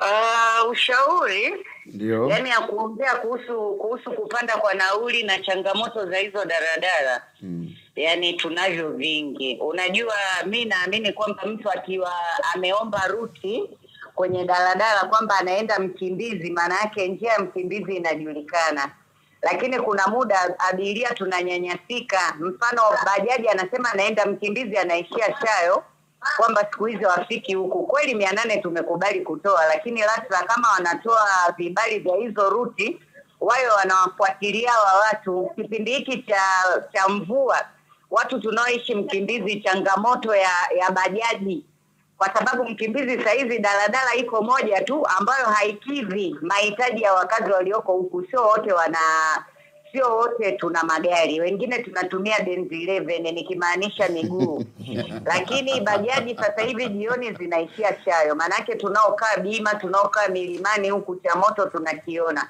kwao. Kama hata wanatoa hizo taratibu za ruti sijui na hizo nauli, wa, wajaribu kuangalia na hivi vyombo vya usafiri vinatusaidia vina, vinatusaidia kwa sababu muda mwingine nauli sio shida, tunajua hizo hizo nini, mabei ya mafuta imepanda, kwa hiyo obviously kwamba hata nauli zitapanda, hilo tuko nalo tayari, lakini the way tunavyokuwa treated kwamba barabara Mkimbizi mbovu, wanakubali kweli, wanakuja Mkimbizi, lakini unaishia Shayo na unapewa mia nane ile ile kwao wa, wajaribu pia kuwafuatilia. Sijajua ni LATRA au ni nani anayefanya hivyo, lakini naamini LATRA sijui SUMATRA wanashirikiana, wanafanya kazi pamoja. mm. E, ushauri wangu ni huo na kero yangu, yani ushauri na kero vimeambatana umomo. Asante, karibu kwa majibu ukiwa bado hewani Jemida. Asante. Jambo la kwanza ambalo tutafanya, naenda kukutana tena na uongozi wa daladala kwamba nijaribu kuwashawishi kuongeza daladala nyingine mbili, kwa mfano mathalan, ila naomba rai kwa wananchi, daladala zikija wapande daladala. Naomba sana sana sana, kwa sababu Mkimbizi kulikuwa kuna daladala nyingi zinaondoka kwa sababu wananchi wana opti bajaji. Kwa hiyo hivi tunarudi tena katika jitihada za mamlaka kuongea na wasafirishaji waje hata wa, wafanye kazi pale ili kuweza kutoa huduma hiyo mida ya jioni na asubuhi. Eh, Karibu Jemida, kama ume una nyongeza. Ah, si tutashukuru kama watalifuatilia hilo. sawa, tutalifuatilia. Haya. Asante. Ni maoni kutoka pande za Mkimbizi kuhusiana na kadhia ya daladala, na wengi hawa hawalalamikii daladala kwa sababu mm. daladala hazipo. mm -hmm. Wanalalamikia usafiri wa bajaji ambao unatumika kama daladala. mm -hmm. Sasa labda nyie mmeshafanya tafiti zozote kuweza kujua wananchi wa manispaa ya Iringa wa, wanakadhia kiasi gani juu ya ukosefu wa daladala hizi? Mm, kuna tumefanya utafiti mwishoni mwa mwaka na maeneo ambayo yana usumbufu sana wa daladala ni pamoja na Mkimbizi, kuna Kalenga, alafu kuna Maliasili, kuna Mawelewele, kuna Kaglioli, kuna Mkoga, alafu kuna hii njia ya wapi huku chini kwenda kwa mm. Kitasengwa. Tulikaa na hawa wa- wa, wa- wasafirishaji tukawaomba kwamba tunaomba mwende mtoe huduma haya maeneo na kila asubuhi tunapiga simu na kuwabembeleza. Unajua kuna, kuna namna moja hapa ambayo hata pia natoa rai kwa wasafirishaji tunavyowaomba waende maeneo, kwa sababu hizo njia zote zinatoka, hamna njia ambayo yani ruti zipo zinatoka mm. zote zinazozitaja Yeah. hata mtu akitaka sasa hivi anapewa sasa hivi anaenda. Tunatoa rai kwa wasafirishaji tunapowaomba waende waende kwa muda wote mm. kwa sababu kama umemsikiliza vizuri mlalamikaji mm. anasema jioni. mm. Kwa ina maana hawa watu huenda wanaenda mchana, lakini jioni hawaendi. Kwa hiyo rai yetu kwa wasafirishaji, kama wanatusikiliza, tunaomba hizi njia mpya ambazo zilikuwa zina magari tunajaribu kuzifufua, waende muda wote, ili kwamba wananchi waweze kuwa na kila aina ya usafiri. Okay. Na kwa kuwa kwa, kwa kuwa bajaji zimeamua kuondoka mm. zimeamua kuondoka mjini mm. zimeamua kuondoka maeneo mbalimbali ya mji ukipiga hesabu miaka miwili nyuma ama mwaka mmoja nyuma ama miezi miwili nyuma mm. au mwezi mmoja mm. ama wiki moja nyuma idadi ya daladala zilizokuwepo katika mji wa Iringa mm. na leo nukuta ni kama mbingu na ardhi mm. usafiri ambao unatumika ukisimama barabarani hapo mm.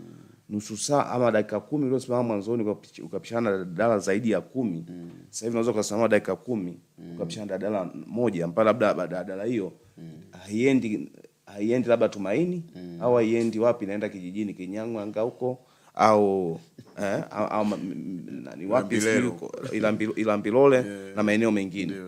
Nyie kama SUMATRA muone kama sasa mnakwenda kuondoka kwa wasimamizi wa vyombo vya usafiri hasa daladala na mabasi mm. na kuathiriwa na bajaji. Kwa nini usafiri wa bajaji msiingize SUMATRA humo? Asante. Kwanza ni nikwambie usafiri wa bajaji SUMATRA upo na lazima mm. uwe na leseni ili kutoa huduma. Mm. Leseni zetu zinakatwa za bajaji katika halmashauri zote za wilaya ama za za, za, za, za miji, lakini pia na ofisi ya LATRA. Nikirudi kwenye swali lako, kwa nini unaziona bajaji nyingi kuliko mm. daladala? Mm. Bajaji inapakia watu watatu. Mm. Wakikaa watu watatu inaondoka. Kwa ile movement inakuwa ni kubwa zaidi. Mm. Daladala linachukua muda kidogo na hiyo ndio imeleta changamoto kwa wananchi kushindwa kuvumilia kidogo kwa dakika kumi kumi na tano ishirini ili gari lijae watu waweze kwenda kwa pamoja Mm. kwa nini watu wanapenda bajaji ni kwa sababu ya ule uharaka haraka Yeah. lakini sasa madhara yake hawaangalii Yeah. hawaangalii samani kidogo afisa RATA kwa sababu tulikuwa tunamtafuta Merabu lakini Merabu hapatikani Mm. lakini naye hapa Doto ambaye ni kiongozi pia Yeah. ah, bajaji Iringa. Doto, habari za wakati huu? Muda mwingi tumekuwa tukimtafuta Merabu lakini naona simia zake hazipatikani. Nipo na meneja mfawidhi wa RATRA mkoa wa Iringa bwana Joseph Omoti, na kubwa kumekuwapo na malalamiko ya abiria juu ya bajaji, hasa bajaji zinazokwenda Mkimbizi, kwamba bajaji zimekuwa hazifiki mwisho, zimekuwa zikiwashusha shayo kwa nauli ya shilingi mia nane. Sasa sijafahamu kama upo jirani na ofisi tunampata Merabu ama unaweza ukatusaidia kujibu swali hili. Naweza nikaelekea pale ofisini ili nimpate Merabu kwa muda mchache, alafu nitakupigia. Sawa, basi utarejea. Asante. Sawa, sawa. Ehe, tuendelee basi. Kwa hiyo tuna tunaomba sana kwa wananchi kuwa na subira kidogo. Katika stendi ukikaa dakika kumi ukasubiria gari lijae, tunaomba sana, kwa sababu hiyo ndio itakayofanya watu wenye magari waweze kuridhika kurudisha hayo magari. Tunawatia pia e, moyo wanaofanya hizo jitihada. Kwa mfano sasa hivi ukienda Kalenga, mm. hata kwa Mkimbizi, kuna gari lingine ambalo linaenda hata ambalo lina kibali cha muda mfupi, mm. ili tu kuweza ku- ku- kutoa hii kadhi ambayo imetokea sasa hivi baada ya nauli kupanda. Kwa hiyo tunaomba sana wananchi kuwa na subira kidogo, lakini pia madereva na makondakta wa daladala kuchangamka. Mm. Ili kitu nime tume, tume, tumetoa sana elimu pale stendi na kila siku tukienda tunatoa elimu hichi kitu. Unakuta gari imejaa mathalan, nikupe mfano ndugu yangu Edwin. Gari imejaa, watu wamekaa level city. Kuna watu tena kama wanne wamesimama. Mm. Gari bado liko stendi. Sasa mwaka elfu mbili na ishirini na nne mtu akaye anaona gari limejaa, wakati kuna chombo kingine cha usafiri kiko kina kinaokoa muda zaidi, ni changamoto. Tumetoa sana elimu kwa kuwaomba madereva wachangamke, wachangamke. Gari kisha kuwa level city, ondoka. Mungu atakupa watu wawili mbele hapo, watatu, utapanda utajazia. lakini usiona gari limekaa pale stendi limejaa watu wamesimama mpaka mlangoni bado lina linakuwa kama yani anatishia kama kuondoka kubaki kuondoka kubaki. Hii inawakatisha moyo hata hawa wananchi kwa sababu muda ni kitu cha msingi kuliko kitu chochote. Na ili uweze kufanya biashara yoyote lazima ujali muda. Kwa sababu wale watu wana kuna mambo ya msingi wanaenda kufanya. Kwa hiyo kweli tunawaomba wananchi wawe wavumilivu lakini pia kuna changamoto kwa madereva na makondakta kuzubaa baada ya gari kujaa. Kitu ambacho tumekuwa tukiwaomba kila siku. Gari kisha jaa ndugu yangu wewe nenda. Muda mwingine unakuta abiria wamesimama hadi mlangoni ila gari bado ipo na itatumia hata dakika kumi mle mle ndani ya stendi wakati itakiwa ni kwamba na watu wameshakaa level city inaenda inakaa nyingine inaenda inakaa nyingine inaenda inakaa nyingine. Na pamoja na changamoto hizo, labda sasa kama RATA mna mkakati gani kuona labda sasa mnawapa daladala njia ndefu mm. mfano labda daladala katoka Mkimbizi mpaka stendi ya Igumbiro mm, mm, mm. ili kwamba huyu abiria ambaye anapanda Mkimbizi mm. aende mpaka stendi ya Igumbiro badala ya kutoka Mkimbizi kuja stendi kutafuta daladala nyingine. Ni kweli tumeanza kwa njia chache. Kwa mfano, sasa hivi unaweza ukatoka Kiesa checkpoint mpaka Igumbiro kwa gari moja. Kwa hiyo njia ya Mkimbizi ni kweli bado hatujatoa ruti ndefu, lakini haikataliwi. Mtu yote akitaka kwenda, hizo njia zote zipo, na serikali inamalizia hii njia ya mkato ya kwenda Igumbilo kupitia hapa Kiesa, ambayo na yenyewe tumeshaingiza kwenye mfumo. Tutakuwa na ruti mpya baada ya barabara kukamilika. Magari yatakuwa yakitoka Mkimbizi wapi huko, yanaweza kakunjia hapa Kiesa yakapita shortcut yakatokea Igumbilo. Hakutakuwa na haja ya kuja mjini, japokuwa kuna magari ya mjini yataendelea, lakini pia kutakuwa kuna ruti nyingine kwa wale watu wanaowahi mabasi wanaenda Igumbilo, watakuwa wanakatishia Kiesa. Okay. Yeah. Na unafikiri kwamba hii sasa inaweza ikasaidia kuongeza idadi ya daladala kutotoka Iringa mjini kwenda vijijini, kwa sababu daladala nyingi kwa utafiti mdogo kwamba inaonyesha zimeenda vijijini na nyingine zimeenda Dodoma. Daladala nyingi za Iringa zimeenda jiji la Dodoma. Ni sahihi. Hili jambo linahitaji pande zote mbili, kwa sababu serikali inavyofanya jitihada chache chache, inatakiwa pia tushikane mkono wote, yani nikimaanisha serikali, wamiliki wale wasafirishaji, lakini na abiria pia. Kwa mfano, njia ya Kalenga hakuna mtu aliyekuwa anapanda daladala, watoto walikuwa wanapanda bajaji, lakini kuna wengine wana, wa, wa, wa, wanakuwa na changamoto. Unakuta mtu ni, ni, ni, ni, ni, ni, ni mgonjwa labda Ehe, unakuta mtu labda ana changamoto nyingine, hawezi kwenda na bajaji ambayo itakuwa ni chombo ambacho sio cha, cha, cha yani ambacho kinaweza kikabeba mtu ambaye ana hali mbaya zaidi. Kwa hiyo tunaomba wananchi pia tushikane mkono katika hili. Wakati sasa hivi tunaziamsha njia hizi ambazo zamani zilikuwa na daladala zime, zime nani, tunaomba mambo mawili kwa wananchi, tunaomba wapande sana ya magari. Kwa wasafirishaji, tunaomba watoe huduma muda wote mpaka mwisho. Naamini katika hili daladala zitaongezeka e, katika manispaa yetu ya Iringa. Okay. Na kuna adhabu zozote ambazo zinachukuliwa kwa wale ambao wanakimbia njia, sababu mlitoa njia mm -hmm. mtu anakimbia njia ambayo amepewa kwenda kuchagua njia anaitaka yeye, lakini mwanzoni kwamba alisajili kutoa labda huduma mm -hmm. uh, kutoka Iringa kwenda Kiesa. mm -hmm. Yeah. Sasa hiyo hiyo ni swala la kibiashara. Mtu kama alipewa Iringa, amini alichagua Igumbiro kwenda Kiesa, mm -hmm akitaka kuhama njia akafuata utaratibu, huwezi kumpa adhabu yote. Ana haki ya kuhama njia kwa sababu naye anaangalia maslahi, ila afuate utaratibu. Kwa mfano kama sasa hivi tulikuwa tumetoa vibali vingi vya magari mengi yanaenda sehemu ambayo sio njia yake, ili kutoa ile adha ambayo ilikuwepo. Kwa mfano Kalenga, narudia tena, Kalenga kumekuwa na changamoto kubwa sana kama tu Mkimbizi. mm. Kwa hiyo tu kwa muda huu mfupi kuna magari ambayo yanaenda kule yanatoa huduma, lakini njia sio yake, ili kwamba tuweze kufufua zile njia na kutoa adha kwa wananchi wapate huduma. Okay. Na kwa mwaka huu labda Ndio kwa mwaka ulioisha huu mm. kwa sababu mwaka huu leo siku ya tatu ya tatu leo na kwa mwaka ulioisha daladala ngapi labda zimeomba kubadili leseni ya, leseni ya njia? E, zoezi la kubadili zoe, njia za manispaa ni kubwa sana. Daladala zaidi ya hamsini zimeomba kubadilisha njia, lakini iko hivi, mtu anaomba njia labda ya e, Kigonzile, lakini hii nisitolee mfano kwa sababu hiyo watu hawaondokagi mm. njia, kwa mfano Iringa mjini kwenda Lugalo kupitia Igumbilo mm. mtu anafanya pale miezi miwili, anaona ah, ngoja mimi nitoke huku niende huku. Kwa hiyo kwa wastani ni magari kama hamsini yameomba kubadilisha njia, lakini hayo bado yapo yanatoa huduma ndani ya manispaa. Ila kwa mfano mtu akipeleka gari mathalani Kalenga, wakapanda leo watu watatu, kesho watatu, kesho kutwa watatu, Jumatatu lazima aje kuomba kubadili njia, Okay. kwa sababu lile gari linatumia mafuta. Wakipanda watu watatu wametoa mia sita mara tatu ni elfu moja mia nane mm. mtu ataona bwana, huku mimi nafikiri ma, mawelewele zilienda gari tatu mm. lakini zote zimeondoka kwa sababu ya ushindani huu ambao wananchi wanapendelea bajaji na bajaji zinakuwa nyingi eh, na vitu kama hivyo. Okay. Na kuna maombi yoyote labda ambayo nyie KARATA sasa mmeshayapata labda kutoka kwa viongozi wa wakilishi wa wananchi kuhusiana mm. na kadhia ya usafiri?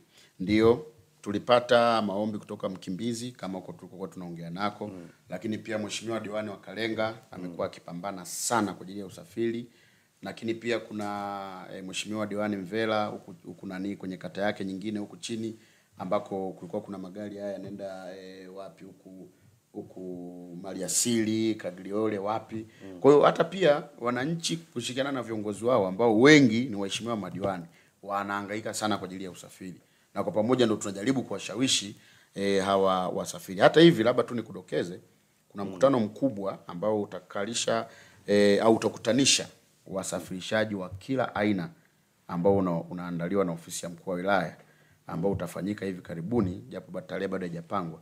Nafikiri moja ya mambo ambayo yatakuwa ni makubwa sana kuyajadili ni katika kuboresha usafiri wa umma. na sasa labda ujue wakati mwingine pasipo kuwapo kwa sheria nzito mm. adhabu kali mm. watu watahamisha sana hizi daladala. Ni kweli. Kuna adhabu zozote kwa mtu ambaye amepewa leseni mm. ya njia afu anaikataa leseni utaka sehemu nyingine, ukiacha hiyo kwamba sababu ya kwamba anapakia abiria watatu Ndio, hiyo hmm. ipo na kanuni yake kwa mujibu wa kifungu cha 23C, kama hautatoa huduma kwenye njia ambayo sio yako utawajibishwa kwa kulipa. Hapa hewani Ndio. ni naye bwana Eliud Mvela, ni diwani wa kata ya Mkimbizi. Ndio, ndio. na kwa kuwa tunazungumzia kadhia ya usafiri na wanasema kwamba isha kulalamikia naomba nimpandishe hewani Eliud Mvela wa Maanji, diwani wa kata ya Mkimbizi. Hapa studio naye meneja wa mfawizi wa RATRA mkoa wa Iringa bwana Joseph Omoti, na kubwa tunazungumzia kadhia ya usafiri wa daladala na hasa katika eneo la Mkimbizi na maeneo mengine, lakini pia kupanda kwa nauli. Karibu sana uweze kushiriki nasi asubuhi hii. Asante, asante sana. Ndio. tutaka kuf... Ndio, karibu. Ah, mimi mimi nasema kama kweli uko na mtu haraki hapo, mimi nina machache nayotaka kuongea. Ngoja msalimiane kwanza. Shikamoo mheshimiwa.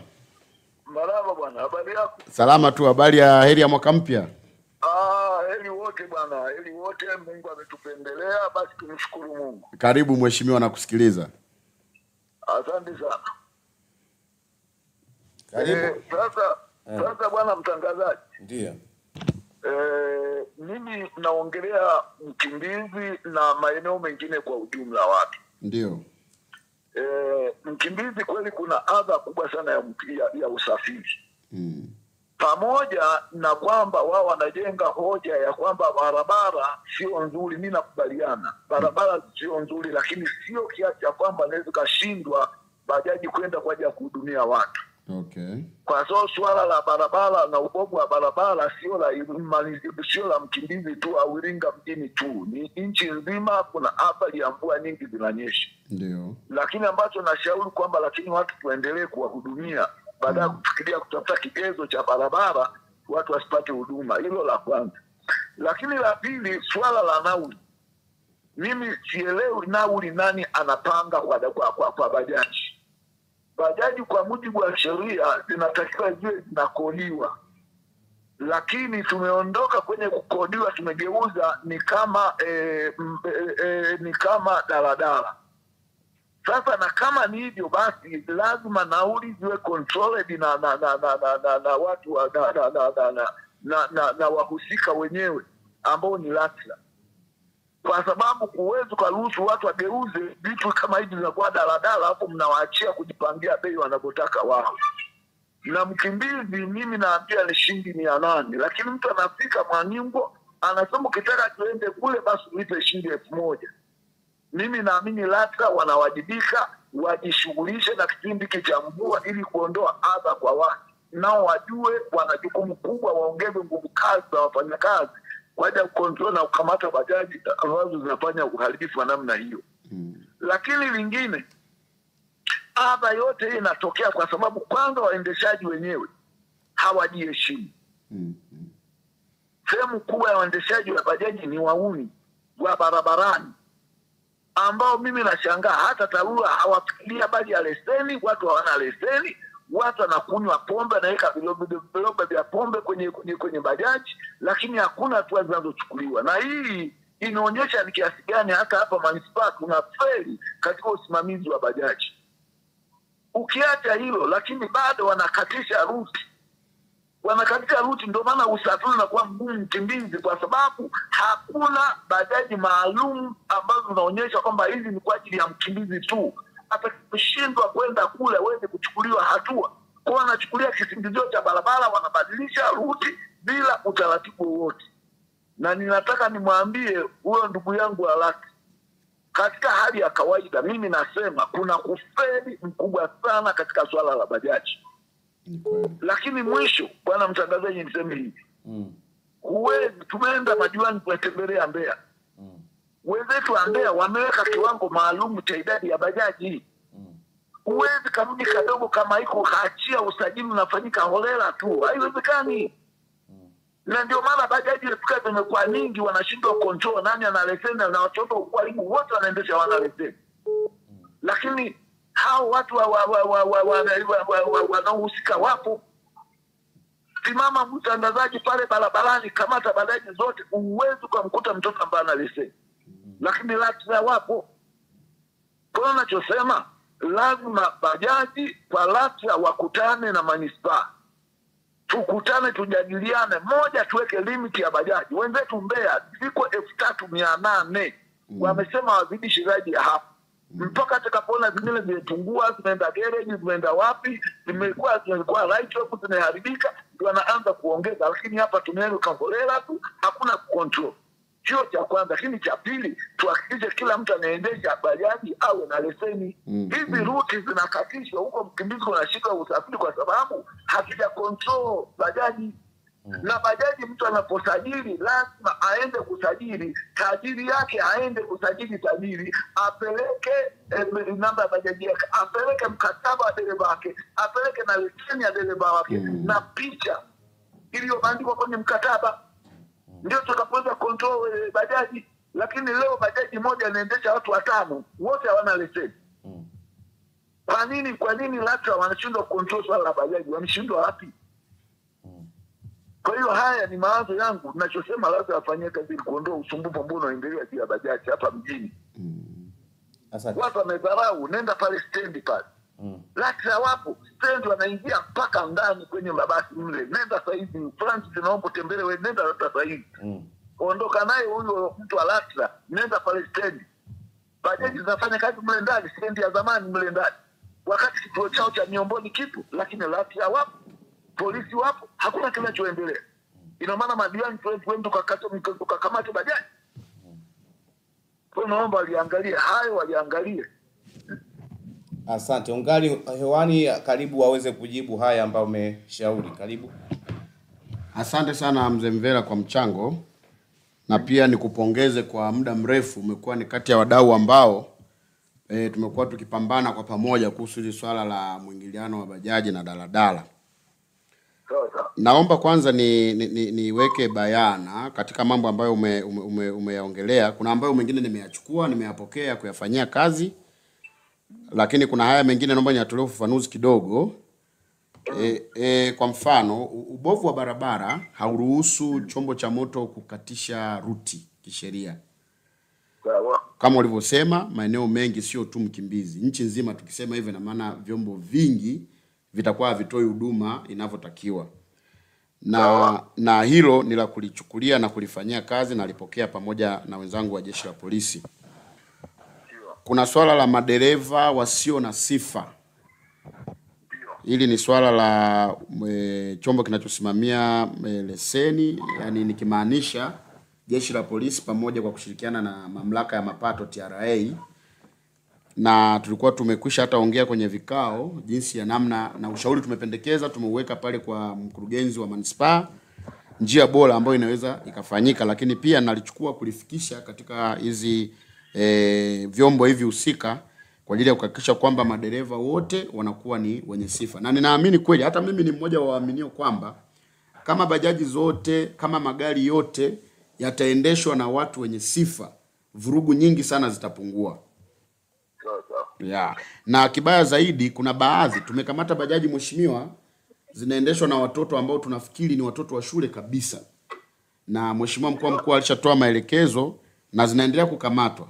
Kwamba tukamate hizi bajaji ambazo zinaendeshwa na watu sio madereva, lakini mpaka mmiliki aje ofisini, na kama ilivyoainishwa, faini yake ya kupita tu highway kwa mfano ni sio chini ya laki mbili. Wana watu wanatozwa haya makosa na wanalipa hizi fine, lakini changamoto ni kwamba fine zao zikatolewa watu wakaendelea. Ina maana tubadilishe mbinu, ni kukamata hawa wa, wanaoendesha hizi bajaji na kuwafungulia mashtaka. Ndio ilikuwa ni mapendekezo yetu, kwa sababu fine tu mtu anaweza akatafuta hela akalipa, kesho akarudia. Kwa hiyo unaonekana hata amfanyi kazi, kwa sababu lile kosa linajirudia sana. Lakini naamini tukienda na njia ya mashtaka, kumshtaki dereva na mwenye chombo, naamini hizi vurugu zitaisha kabisa. Kwenye swala la ki, kiwango cha nauli za bajaji nimekuelewa ulichoongea konsani yako, lakini sasa ni swala la kisheria mheshimiwa, nitaomba nilichukue alafu nikalifanyie kazi kwa kujadili na viongozi walio juu yangu, kwa sababu hili ni la kisheria zaidi, kwamba nauli bajaji huwezi kuhalalisha kama bajaji amini kama usafiri wa umma hata kama inafanyika hivyo. Ndio maana tunazikamata kila siku, tunazichukulia hatua, lakini nitalichukua. Kuna wazo nimelipata hapo, nitaenda kuliwasilisha, alafu nitakupigia mimi mwenyewe binafsi nikupe majibu. Ndio. Asante sana. Ah, labda Wamanji, kama una la Ah, ziada. kuna kuna kuna kuna swala lingine nimemwambia bajaji akienda saa hizi zimejaa stendi zimeingia mpaka ndani nani mwenye wajibu wa kutatua tatizo hilo Mheshimiwa, eh, hizi bajaji, vyombo vyote vya moto vinakamatwa na askari polisi kwa kushirikiana na watu mbalimbali. Kwa hiyo hata tumekuwa tukikaa vikao vingi sana hata na ofisi ya Mheshimiwa mkuu wa mkoa kusisitiza wenzetu wa jeshi la polisi waweze kutusaidia katika hili, kwa sababu bajaji wenyewe kama ulivyosema, sio watu wa kwenda kuwashika kiraia raia, ni watu fulani wana tabia zao za tofauti kidogo. Mle kwenye bajaji wanatembea na silaha, wanatembea na visu, wanatembea na dispisi. Kwa hiyo ukienda bila kufuata utaratibu wa askari na polisi na migambo, kuna migambo mmoja aling'olewa hadi jino, alipigwa ngumi na mtu wa bajaji. Sisi mara nyingi tunawakamata, unakuta wana silaha mle ndani. Kwa hiyo tunahitaji na tulikuwa tumeandika mapendekezo kwa ofisi ya mkuu wa mkoa. Kuna aina fulani ambayo tumeomba, tuna- tunaamini huo muundo, sema tu bahati mbaya ilikuwa ni wakati wa hizi sikukuu. Tunaamini tutajibiwa hivi karibuni jinsi ya kuweza kupata msaada wa nguvu kazi, nikimaanisha jeshi la polisi. Hebu kabla kabla kabla kabla ya diwani. Samani diwani. Ma- angemalizia hata hili la swala kukontrol kuwe na idadi maalum ya bajaji kama tulivyotembelea Mbeya. Nini mpango wa halmashauri ya ya ya, ya, ya, ya wao kuwa na idadi maalum ya bajaji? Hilo mheshimiwa, tumemwandikia andiko mheshimiwa mkurugenzi wa manispaa juu ya mapendekezo ya kuboresha, na hilo ni mojawapo. Hivi tulikuwa tumemwomba mm, afisa biashara kwa sababu e, kupanga mji unapangwa na halmashauri ya mji husika. Kwa mfano, tulimwomba afisa biashara aandae vituo rasmi, avitangaze, avirasimishe, apange hizi bajaji kutokana na vituo vyake, alafu leseni Ma- yangu sio hiyo, maana yangu ni kwamba ndio mheshimiwa. na kusimamisha usajili tu control bajaji zilizopo tu.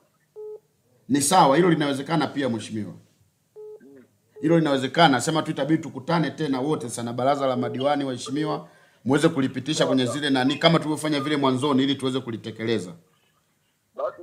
Nashukuru mheshimiwa. Labda kabla diwani hajatoka hewani, ulikuwa umezungumzia hatari ya kuwakamata bajaji mm -hmm. kwamba hawa bajaji wanatembea na visu, wanatembea na dispisi na nini, kwamba nyie hata mna hofu kwamba kwenda peke yenu mna mnaweza mkazulika. Sheria inasemaje? Hatuhofu, tunawakamata, lakini ukamataji wake ni mgumu. Kukamata bajaji moja inahitaji muwe mmetumia mbinu za kijeshi. Kushika bajaji hii moja tunazikamata, Kwani hizi bajaji si zina namba za usajili, ndio si zina chama cha bajaji? ndio. Kwa nini badala ya kutumia nguvu kukamata mm. mkanakili ile namba mm. mkaifuatilia? tumekuwa tukifanya njia hiyo pia, lakini haina maten, matukio ma, amini haina matunda sana, kwa sababu bajaji ni nyingi Yaani unaweza ukatafuta bajaji moja mwezi mzima hujaipata. Bajaji leo inaenda huku, leo inaenda huku, hazina utaratibu mzuri. Kwa hiyo tumekuwa tukizikamata na hata orodha tumeiwasilisha ofisi ya mkuu wa mkoa, bajaji zote tulizozikamata na na na na hatua zilizochukuliwa kwa haya makosa ambayo yanafanyika. Sio sio kwamba hatufanyi, tunafanya lakini tunafanya kwa tahadhari kubwa, kwa sababu tunajua tunashughulika na watu ambao kidogo wako na kundi tofauti. Na me, mwishoni hapa alikuwa amezungumzia swala la stendi kuu Ndio. kugeuzwa stendi ya daladala. Ndio. Hili nyewe nani LATRA mnalijua na mmechukua hatua gani? tunalijua tunazikamata pale, lakini ndio hivi ninavyosema, tunazikamata kila siku, bado kila siku zipo. Ndio maana kwenye mapendekezo yetu tumependekeza tubadilishe adhabu. Hii adhabu ya kulipa laki mbili bado inaonekana sio adhabu ya kutosha. Ndio. mimi naomba jambo moja.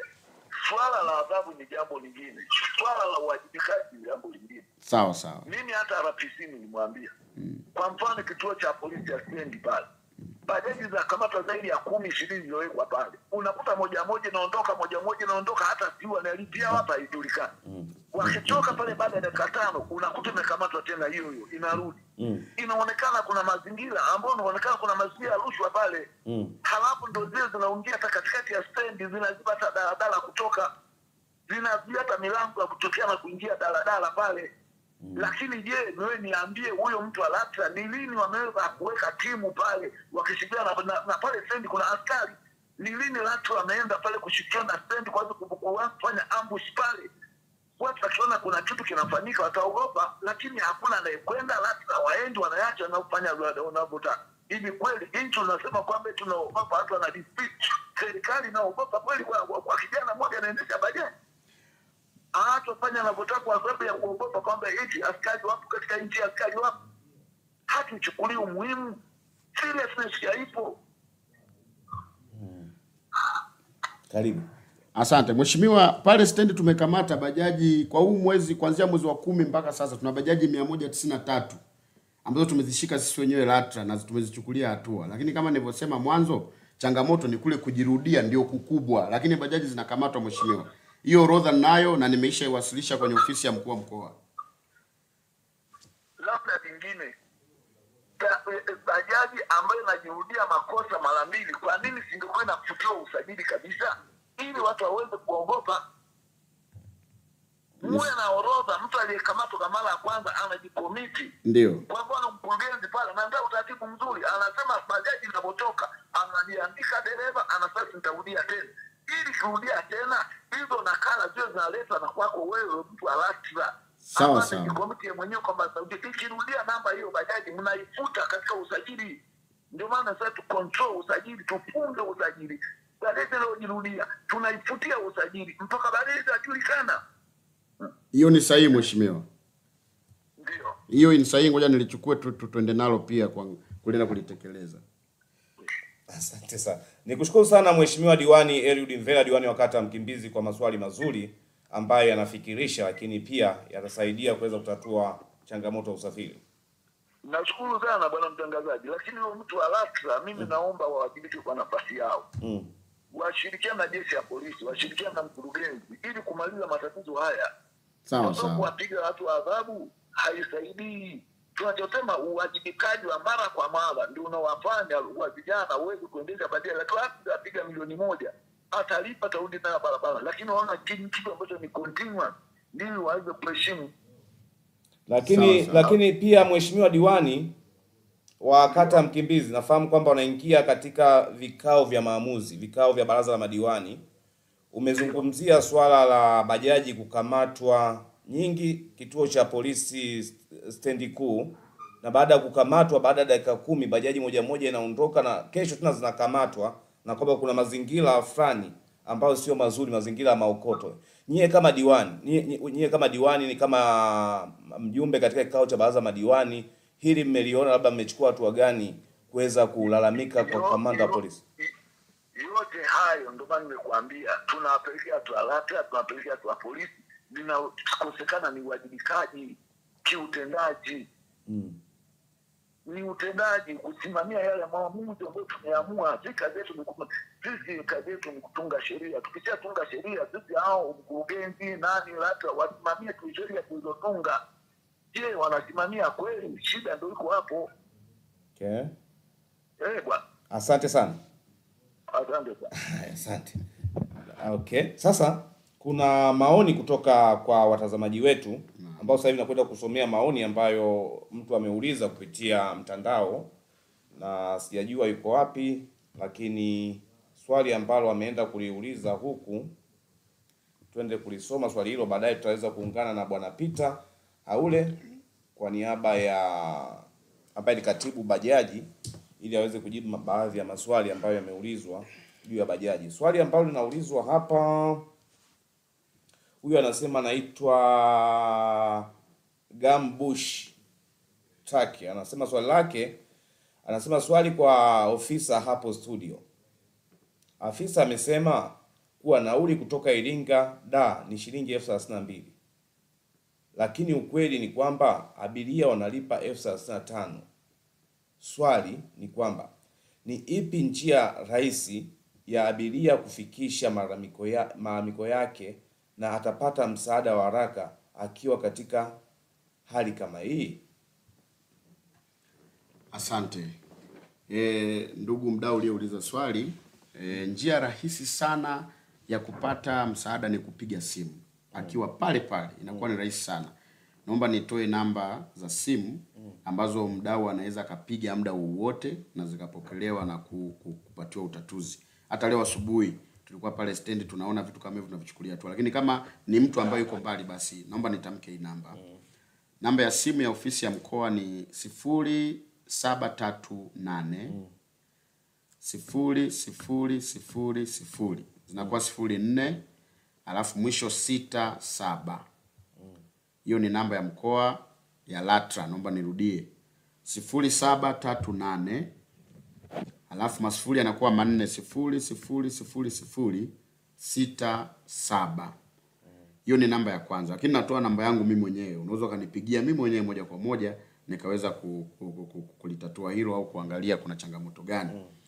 Namba yangu ni sifuri saba tatu nne mia nne hamsini sifuri sifuri saba. Hiyo ni namba zinatumika ya kwangu na ya mkoa, lakini mathalan huko nje ya Iringa, labda ni mkoa mwingine, nitatoa namba ya LATRA makao makuu, mtu yote anaweza akapiga muda wote, na hiyo unapiga bure masaa ishirini na nne ni sifuri mia nane kumi na moja sifuri sifuri kumi na tisa masaa ishirini na nne unapiga bure. Okay. Kwa hiyo akitupa pale, cha msingi tu awe na hiyo tiketi na kama pia hajapewa tiketi, angalau namba ya gari hata ameipiga picha kwa ajili ya ushahidi, kwa sababu hizi muda mwingine zinaenda kama ni kesi, kwa lazima kuwe kuna ushahidi. Tiketi lazima iwepo, uwe nayo, na usikubali kuchukuliwa tiketi na agent au mtu yoyote. Ipige hata picha, lazima uwe na tiketi ili swala liweze kuhudumiwa kisheria. Okay, asante. Twende kwa hawa viongozi wa bajaji kuweza kujibu. Naona muda wetu pia unatupa mkono. Habari ya wakati huu. Naitwa Francis Godwin, tupo na ofisa mfawizi wa Ratra mkoa wa Iringa. Tunazungumza na nani kutoka wapi? Hapa wanazungumza na Yohana Mapunda, mwenyekiti wa bajaji miongoni. Karibu. Asante. Uh, nyie viongozi wa bajaji kwamba kuna swali ambalo liliulizwa na Jemida, lakini pia kuna swali ambalo kero imelalamikiwa na diwani wa kata ya Mkimbizi kwamba mmekuwa mkiwazidishia watu nauli na wakati mwingine kwamba mnawatoza nauli halali ya kutoka uh, Miomboni kwenda Mkimbizi shilingi mia nane lakini hamwafikishi hamwafikishi Mkimbizi mwisho, mnaishia Shayo na kusema huku hatuendi. Kama nataka ongeze nauli nyingine au akodi. Aha, sheria ya bajaji ni ya kukodiwa, Mm. lakini kuna kitu kimoja ambacho tuseme, wapo vijana ambao wakorofi, lakini walio wengi wanaenda, ila kimsingi ukienda Mkimbizi barabara kweli ni mbaya sana sana sana sana, na kwa vyombo vyetu hivi vilivyo tayari zake zilivyotengenezwa ni kwa ajili ya kupita kwenye lami, labda kidogo barabara ambayo haina changamoto, kwa sababu sisi kule chini kuna kuna kuna vitu kuna, kuna vipapa vinaitwa slider ni ndogo ndogo ambazo hazina uwezo unani kupambana na yale makorongo. Kwa hiyo barabara ni mbaya. Sisi kama viongozi tulifuatilia TARURA tulienda wakatuambia wenyewe wana kilomita wana mita mia hamsini ambayo kimsingi ni, ni chache sana. Kwa hiyo walisema wanasubiri bajeti ya mwaka huu kwamba inawezekana waka- wakasogeza ile barabara iende kule juu. Lakini changamoto ya kwamba mtu ametoka hapo amekubaliana afike mpaka bima hapo akaishia njiani, sheria namtaka watakokubaliana ndio ampeleke mpaka pale, sheria ndio namtaka hivyo. Kwa hiyo kama mtu ametokea amepata changamoto amekubaliana kwamba amefikishwa sehemu fulani kwa, kwa maana ya maana ukitoa mia nane maana mmekubaliana kwamba wana mia nane mpaka mpaka bima, nitolee tu mfano. Kwa hiyo akipelekwa kishushio shayo aandike hiyo bajaji namba, tuletee tunaipeleka lani. Okay. Na mwanzoni umezungumza kwamba changamoto ya barabara ni kubwa Ndio, na bajaji haziwezi kufika huko kwenye changamoto ya bajaji ya barabara. ndio. Inakuwaje sasa, pamoja na kwamba changamoto ya barabara ni kubwa, mkachukua nauli ya watu au mkasema mnaenda huko kwenye changamoto ya barabara na msifike? Eh, ndio maana nasema hilo- ni kosa. Kama wamekubaliana watafikishwa mpaka sehemu fulani, asipofikishwa ina maana nitakiwa warudishe nauli. Kwa hiyo lazima wakubaliane kabla hawajaondoka, bwana, mimi ndaishia Chayo, bei yangu ni kiasi fulani, na yeye abiria kama atalizia basi, lakini asipolizia ataangalia bei nyingine. Mbona zipo zingine zinaenda mpaka mpaka, kuna sehemu inaitwa Mnalani kule Mkimbizi Bima, kuna sehemu inaitwa Mnalani, wanaenda mpaka kule. Kwa hiyo kuna baadhi ya bajaji zingine hazifiki kule, wanakwambia wana mita ishia shayo, anatangaza mapema, wanafanya makubaliano. Sasa hilo moja. Swala jingine kwamba bajaji mmekuwa mkilalamikiwa swala la kuingia stendi kuu, stendi ya zamani, na mwisho wa siku kwamba zikikamatwa nyingi hamkai, hamkai dakika kumi zinatolewa. Mm, Ah, yani kwamba inakuwaje hapo? Mamlaka ambao wanakamata ni manispaa. Mm. na faini yao ilikuwa sheria inataka faini laki mbili lakini walikuwa wanalipa laki moja. Lakini sasa hivi wamerudisha tena laki mbili. Kwa hiyo ikikamatwa bajaji ni faini yake ni laki mbili. Mtu akilipa anatolewa. Kwa hiyo wapo ambao wamejipanga hivyo wanakuwa wana, wanajua ikikamatwa wanaandaa laki mbili zao wanalipa faini wanaondoka. Ni hiyo ukikamatwa manispaa wanakupa control number unaenda unalipa na ukishalipa wanakuachia bajaji Kwa, hivyo. kwa hivyo nataka kuniambia kwamba bajaji Iringa mnatembea na faini mkononi shilingi laki mbili kwamba ukikamatwa ndani ya dakika mbili unalipa unaachiwa. Hapana, sio hivyo. Yaani kwa sababu hao hao ni madereva wamiliki, kwa sababu miliki ndio, yani hii ni kazi kama kazi zingine, kwa maana ya watu wanaendesha familia zao, wanategemea bajaji. Madereva ndio wanayofanya changamoto hizo. Mmiliki hawezi kubali kwamba bajaji kae ikae pale, bora ai- ai- ailipia ampe dereva mwingine, au anaweza kampa yule kwa kumwonya, bwana, sipendi urudie hapo, wala sitaki, kwa sababu sehemu ambazo nakamata ni highway na sisi kubwa na na sehemu ambazo zote zimekataliwa zimeandikwa no link. Na hii faini ya shilingi laki mbili na laki moja amba, ambayo mna, mnatozwa mnatozwa na nani hii faini? manispaa wenyewe Ni manispaa wenyewe, sio LATRA. eh, ni manispaa. Na faini ya LATRA ni shilingi ngapi? Faini ya rata ina, inaenda kwenye kwenye kwenye sehemu ambazo zimekatazwa. Kwa kwa mfano kuna ambazo watu wanapiga mpaka laki mbili na nusu, kuna kuna elfu ishirini na tano. Kwa hiyo hizo faini zao ziko hapo. Okay. Lakini pia kuna jambo hili la nyie bajaji, ni Ndio. ni utaratibu upi ambao mmejiwekea wa kuweza kutembea na visu, mapanga, bisibisi na silaha mbalimbali kwenye bajaji? Ah, Sasa kwenye bajaji kuna kuna kuna watu ambao sio sio madereva kuna watu ambao ni majambazi kabisa Mm. lakini kuna watu madereva wanafanya hii kazi zao wao wanafanya kazi vizuri kabisa na wanaendesha familia wanasomesha wanatunza familia wanajenga wako wapo madereva lakini wapo hili ni kundi kubwa kwa sababu sasa hivi kuna, vijana sasa wanaenda kwenye karibu elfu saba na manispaa nzima hapa mimi Miomboni kuna vijana mia saba Mm. kwa hivyo hili kundi huwezi huwezi kujua kwamba huyo huyo huyu ni, ni kazi yake. Kwa hiyo wanayofanya hivyo ni usiku, wakati viongozi wote tumelala, hatuwezi kuwajua. Ukija uki- hata mimi nimewahi kuja hapa Miomboni siku moja, nimekaa kama saa ngapi, nikakutana na kijana hajui kwamba kuna taratibu gani, amepaki tu bajaji ana- anaita kitu, nikakuta wako wa- kama watatu. Niliingia kwenye ile bajaji nikagundua sio madereva Wa- walichokuwa na- walichokuwa wanakiongea, nikawahoji, nikagundua sio madereva. Kwa hiyo hii ni changamoto Ulichukua hatua gani? Eh, mimi nili- nili- nilitoa taarifa polisi. Mm. Kwa hivi una, kwa hivyo unathibitisha kwamba kwenye kundi hili la bajaji wapo bajaji wahalifu ambao wanafanya uhalifu. Eh, ni kweli. Sio sio ambao sio madereva kwa sababu sisi tuna utaratibu hapa. miongoni, dereva anayekuja kuomba kuja kujiunga na kikundi kwa sababu ni ni- lazima tumjue anapotoka na leseni yake tunaandika kwenye daftari na alete barua anapoishi kwamba ana tabia gani yeye ni nani na namba ya nyumba kwa hiyo tuna- hapo kuja hapa tuna barua ambazo zimetoka kwenye mtendaji na, na mwenyekiti wa mtaa ambao imemshambulisha. kwa hiyo tunazo hapa Na umesharipotiwa kesi ngapi za ubakaji? Uh, kesi za ubakaji ni- nyingi tu wanatuambia, lakini mimi ambacho tunachokifanya huwa naomba namba ambayo ya mpelelezi ambayo anapeleleza kesi hiyo, tunasaidiana. Wengi tumesaidiana ku- ku- kama kama kuna kuna kipindi kili- kilikuja waliripoti kwamba kuna kuna mtoto ame- ame- amefanyiwa kitendo cha ukatili. Tulifanya uchunguzi tukiwa na polisi, lakini bahati nzuri ilikuwa sio, kumbe sio dereva bajaji, ilikuwa ni mwanafunzi mwenzake huku. Kwa hiyo hivyo vitu tunasaidiana na jeshi la polisi sana. Asante. Ni naye sasa afisa mfawizi wa, Sma- wa LATRA mkoa wa Iringa Bwana Joseph Omoti.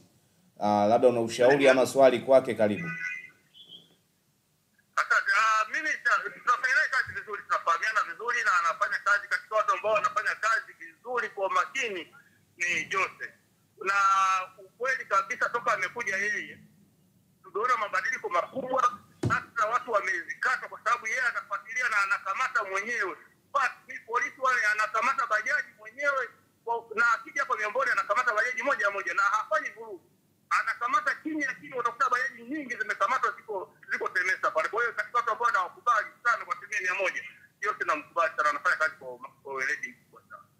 Na ulishakamatwa mara ngapi na yeye? Ah, bado mimi kunikamata kwa sababu mali zangu zote nazoziendesha LATRA na kila kitu kwa sababu najua serikali inategemea mapato kutokana na vyombo hivi, kwa lazima tulipie mapato. Okay. Sasa tunaona kwamba kuna tatizo la usafiri kati ya Mkimbizi kuelekea Mtwivila sekondari na barabara ya kutoka Mtwivila shule ya msingi kuja Mtwivila sekondari hamna da- bajaji kabisa. Nyie kama bajaji, na utaratibu gani kuweza kusogeza huduma hizi kwa wananchi ili hizi barabara zote ziwe na bajaji kama ambavyo mmewafukuza wenzenu daladala? Asante. Jana nilitembelea mimi Geita sekondari, nilizunguka ile barabara, niliingilia Mtwilila, nikazunguka nikatokea Mkimbizi. Ni kimsingi, kwa kweli barabara kwa bajaji, ile barabara ni mbovu mbovu mbovu. Ukiangalia pale kitu sekondari, yani mtu anajenga daraja, unazunguka hivi. au ukweli, hata hizi sasa hivi kama zingekuwepo. Zingekuwa zina changamoto kubwa, kwa sababu sita zetu ni ndogo hizi, alafu kama nilivyosema, kuna kuna tatizo, kuna vikombe na slider. Huwa kwenye ma, kwenye makolongo zao zote zinatoka. Kwa hiyo kwa kwa kwa kule watu watu kuangulia tu kidogo, kama tulivyoomba nani labda nani nini Ta- TARURA kwamba wakuangue walau kidogo, walau sipitike. Bajeti zitafanya kazi kote. Kwa kweli kabisa, nilipanga kwamba tumeandaa bajaji kama ishirini ziende kwenye kituo cha pale kituo cha Mkilila sekondari pale darajani na jana nilionana na wananchi, niliwaambia pale kwamba tunatarajia kuleta bajaji ishirini hapa kwenye kituo, lakini lazima wahakikishe kwamba barabara ndio bajaji zinaweza lakini kwa hali ile ni ngumu bajaji kufika. Asante. Tukumbushe upande wa jina.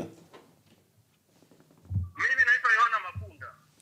Tukushukuru sana Yohana Mapunda kwa ushirikiano mzuri, asante. Lakini pia tufanye kazi kwa misingi, na nafikiri kwamba ila mwisho aweze ku- kukusii afisa mfawizi Ratra, Karibu. Asante sana. E, mwenyekiti, mimi nilikuwa na, naombi moja Ndio, katika hivi vituo vyetu hasa hivi vikubwa kama mio, Miomboni e, barabara mbili na vingine vikubwa pale pale, huwa naona kuna uongozi uongozi au kuna vijana wenu ambao wanajaribu kusimamia utaratibu. La, lakini ombi langu ni kwamba wale watu wote ambao sio madereva tuwadhibiti kuanzia pale pale bajaji inapotoka, kwa sababu wale vijana wadogo mna maarufu kama vi, vishingo sijui vinini wale wa, vishingo ndio wale. wale wanaingia stendi na sisi pale tunakuwepo, na kitu ambacho nafikiri tunaweza tukakidhibiti kabla hata bajaji haijatoka iendeshwe na dereva. Hicho nafikiri kitakuwa kimetatua tatizo kubwa, kwa sababu wengi wanafika stendi wanafikisha na abiria, lakini bajaji isiingie stendi, isiingie kwenye kituo chake kama inaendeshwa na mtu ambaye sio dereva. Kwa kuna hatua zinafanyika ndani kwa ndani. Ndiyo, ndiyo. Ya, ni hilo tu. Asante. Naam, tazama nashukuru sana kwa. Asante sana, nikushukuru sana. Asante sana. Haya. Naam, mtazamaji wa Matukio Daima, muda wetu anatupa mkono. Twende tupate tangazo kutoka studio. Tukija ni kwa ajili ya kuweza kumalizia yale ambayo afisa ratra ame anayo angetamani kuweza kuyajua. Twende tupate matangazo, kisha tutarejea.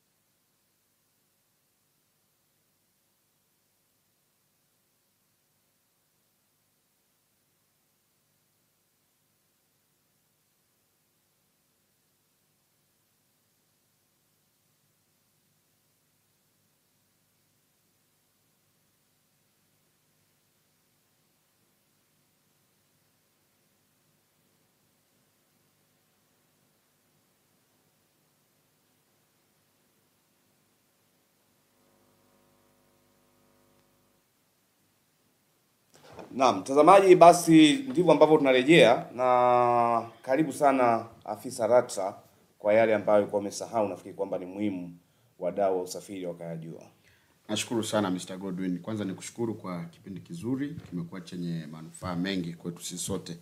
Niombe tu kwe, kwanza kwa madereva wa bajaji, tunatoa rai kwamba wa, wafuate taratibu za kupita katika njia ambazo ziko tayari. Kwa mfano mathalan, kuna njia ya Kiodombi kuja hapa mjini kutokea kule Zizi. Ile njia ilikuwa inalalamikiwa ni mbovu, lakini sasa hivi ni nzima na bajaji hawapiti. Kwa hiyo natoa rai wapite kwenye zile njia. Kuna hii njia ya Gangironga kama unaenda Ki- Kiesa, watumie zile njia ambazo walikuwa wanazilalamikia ni mbovu, kiachana na wewe ya Mkimbizi. Kuna njia ambazo tayari ni ziko vizuri, ni za rami, lakini hawapiti. Kwa hiyo ni changamoto ambayo tunaomba na tunatoa rai kwamba hawa waheshimiwa wa bajaji wapite huko, lakini pia niombe e, au nitoe rai kwa waheshimiwa wa daladala kwa haya maeneo ambayo mapya wanaenda, naomba kwanza wasife moyo, wavute subira. Ni kitu ambacho tunafanya kufufua kitu ambacho kwa kimekufa. Najua mwanzoni itakuwa ngumu, lakini baadaye njia zote hizi zitakuwa zinapatikana. Kitu cha pili ni wasii madereva wote wanaoendesha vyombo vya moto vya kwa kibiashara ambao wana leseni daraja E ama leseni daraja C na una cheti cha udereva, tafadhali fika ofisini LATRA ili uweze kujisajili, kwa sababu pia nao ni takwa la kisheria. Mwisho kabisa, ningewaomba wananchi, jitihada zinavyofanywa na serikali au na hivi vyombo vya ulinzi na usalama, tunaomba ushirikiano mwingi mno, ili kwamba tuweze kuwa na aina zote za usafiri katika manispaa ya Iringa. Asante sana. Asante mtazamaji wa Matukio Daima, basi tukushukuru wewe ambaye umeweza kushiriki mwanzo mpaka mwisho, lakini kwamba muda wetu hautoshi au tutoshi, lakini wakati mwingine kwamba tutakuwa na muda wa ziada zaidi kuweza kuzungumza na wewe, lakini pia kuwa na wadau wa usafiri. Tunazungumzia trafiki, tunazungumzia ambao watawakilisha jeshi la polisi, lakini pia tunazungumzia kamanda wa polisi, kwa sababu naye anahusika hasa juu ya kutembea na silaha lakini pia tatizo la rushwa na nini, kwamba haya yote yameripotiwa hapa, lakini hawa washika washikadau katika sekta hii wanaweza kusaidia sana, na kuna nambari za kupiga ambazo zimetolewa na RATRA hapa ambazo unaweza ukapiga namba hizi bure, lakini kuna namba ya RATRA mkoa wa Iringa ambayo ni sifuri saba tatu nane zero zero zero zero sita saba lakini pia nambari ya afisa mwenyewe Omoti unaweza ukampigia sifuri saba tatu nne arobaini na tano zero zero zero saba lakini namba nyingine ya kupiga masaa ishirini na nne wapo ndani ya mkoa wa Iringa na hata nje ukahudumiwa ni zero nane zero zero kumi na moja zero zero kumi na tisa zero nane zero zero kumi na moja ziro ziro kumi na tisa. Hii namba ni ya bure kabisa na utapiga masaa ishirini na nne popote pale ulipo ndani na nje ya Tanzania. Na leo tumezungumzia zaidi mkoani Iringa kwa sababu ndipo ambapo tumemwalika afisa wa RATRA mkoa wa Iringa, lakini nafahamu kwamba upo uliopo Mwanza, upo uliopo Dar es Salaam, upo na mikoa mingine. Amini kwamba haya ambayo yamezungumziwa ni mpango mkakati ya RATRA mkoa wa Iringa na nauli zilizofafanuliwa ni nauli za kutoka Iringa kwenda mikoa mingine, sio za kutoka mikoa mingine kuja Iringa. Sasa zikifanana na hizi sawa, na huko kuna RATRA Yeah. lakini kuna taarifa ya jumla ya RATRA ambayo ukiingia kwenye Google Yeah. utapata ya kila mkoa, lakini pia kuna RATRA taifa. Leo tumebezi na RATRA mkoa wa Iringa kwa sababu kituo cha matukio daima kipo Iringa. Tumewaalika RATRA mkoa wa Iringa kwa ajili ya ufafanuzi wa nauli hizi kupitia mkoa wa Iringa, basi unaweza ukajua pia na kwa mikoa yako hali ikoje. Mtazamaji, kwa niaba ya wote ambao wameweza kuandalia kipindi hiki, Michael Msukuma maarufu Masanja, Dishon Linus ambaye aliweza kuanza na wewe hapa asubuhi, lakini pia Seleman Yusufu na wengine wote, mimi naitwa Francis Godwin, ndio ambaye tumekuandalia kipindi hiki. Nimshukuru sana Joseph Omoti, ofisa mfawizi ama meneja mfawizi wa RATRA mkoani Iringa. Asante sana. Nashukuru sana. Asante. Asante. Asante na kwa heri.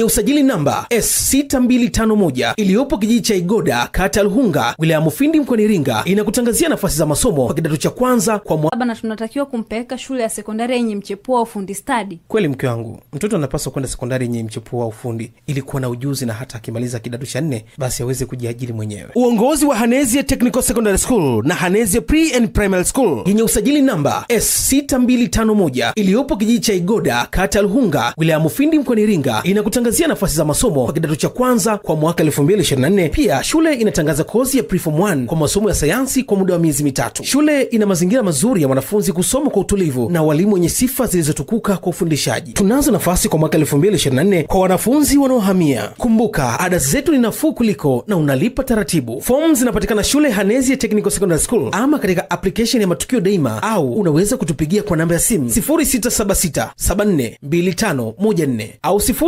0625710849 na 0682. Lumilo Classic Hotel and Tours iliyoko mkoani Iringa ni hoteli bora kusini mwa Tanzania. Ni hoteli yenye hadhi ya kimataifa inayokupa fursa ya kupata huduma za viwango vya juu kwa ubora usiomithilika. Ukiwa Lumilo Classic Hotel and Tours utafurahia ladha nzuri ya vyakula vya kitaifa na kimataifa vilivyoandaliwa na wapishi mahiri, bila kusahau Lumilo Nasgole. Hiki ni chakula maalum kinachopatikana Lumilo Classic Hotel and Tours pekee.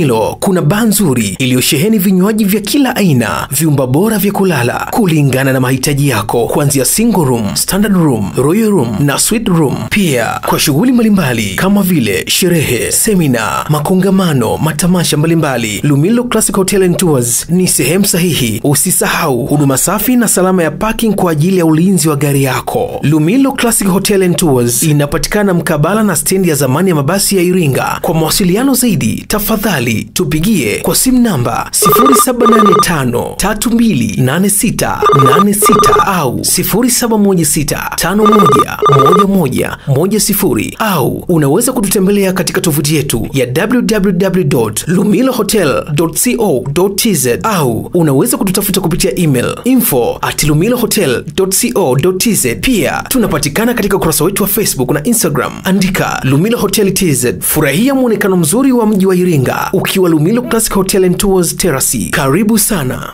Baba karen hivi unajua mtoto amemaliza darasa la saba na tunatakiwa kumpeleka shule ya sekondari yenye mchepuo wa ufundi stadi Kweli mke wangu, mtoto anapaswa kwenda sekondari yenye mchepuo wa ufundi ili kuwa na ujuzi na hata akimaliza kidato cha nne basi aweze kujiajiri mwenyewe. Uongozi wa Hanesia Technical Secondary School na Hanezia Pre and Primary School yenye usajili namba S6251 iliyopo kijiji cha Igoda kata Luhunga wilaya ya Mufindi mkoani Iringa inakutangazia nafasi za masomo kwa kidato cha kwanza kwa mwaka 2024. Pia shule inatangaza kozi ya Preform 1 kwa masomo ya sayansi kwa muda wa miezi mitatu. Shule ina mazingira mazuri ya wanafunzi kusoma kwa utulivu na walimu wenye sifa zilizotukuka kwa ufundishaji. Tunazo nafasi kwa mwaka 2024 kwa wanafunzi wanaohamia. Kumbuka, ada zetu ni nafuu kuliko na unalipa taratibu. Fomu zinapatikana shule Hanezi Technical Secondary School ama katika application ya Matukio Daima au unaweza kutupigia kwa namba ya simu 0676742514 au 0625710849 na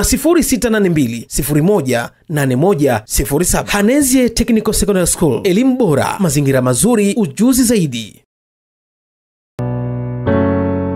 Uongozi wa shirika la Rural Development Organization RDO unawatangazia nafasi za masomo ya ufundi stadi kwa mwaka 2023 katika vyuo vyake vya RDO Mdabulo, RDO Ibwanzi, RDO Mafinga na RDO Kilolo. Vyuo vipo wilaya ya Mufindi na Kilolo. Fani zinazotolewa katika vyuo ni kilimo na mifugo, utengenezaji wa bidhaa za ngozi, ufumaji, useremala, ushonaji, umeme wa viwandani na majumbani, upishi, teknolojia ya habari na mawasiliano yani ICT, ujenzi, ufumaji wa mota, ufundi magari, ufundi bomba, nishati jadilifu yani renewable energy, uchomeleaji na matumizi ya kompyuta. Vyuo vina wakufunzi wa kutosha na miundombinu bora kwa ajili ya kumwezesha mwanafunzi kujifunza kwa vitendo zaidi. Vyuo vimesajiliwa na kutambuliwa na NACTVET. Kujiunga, unaweza jisajili katika tovuti ya shirika yani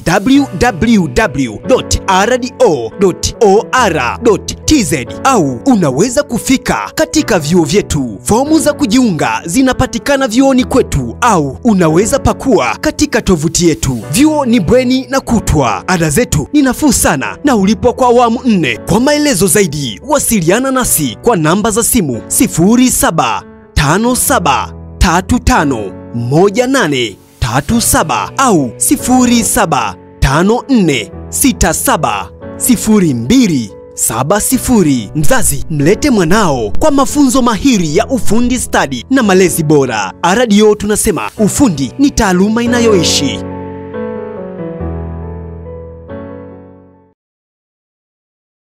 Jiji la Dodoma ndio makao makuu ya nchi. Uwapo jiji la Dodoma, sehemu pekee yenye hadhi ni moja tu, ni Midland Inn View Hotel. Hapa ndipo sehemu sahihi, na hapa ni kiwango cha kimataifa, kwani wageni wote hapa ndipo nyumbani kwao. Midland Inn View Hotel, hapa utapata vyakula vya viwango, vyumba vyenye ubora wa kimataifa. Kuna aina ya vyumba mbalimbali kama vile suite room, superior room, deluxe room na single standard. Kuhusu vinywaji, tuna baa ya viwango na kuna garden nzuri ya kupunga upepo na free wifi, sambamba na ulinzi wa kutosha, bila kusahau swimming pool ya kisasa na michezo mbalimbali ya watoto. Usisahau tuna kumbi kubwa za mikutano na kumbi za kawaida, hivyo mikutano, semina na vikao umefika. Midland Inn View Hotel ipo eneo la kisasa Ilazo, barabara kuu ya Dodoma, Dar es Salaam. Tupigie simu namba 0763 25 55 50 au 0676 36 66 21. Barua pepe midland 023 at gmail.com au info at midlandinn.co.tz ama reservations at midland inn co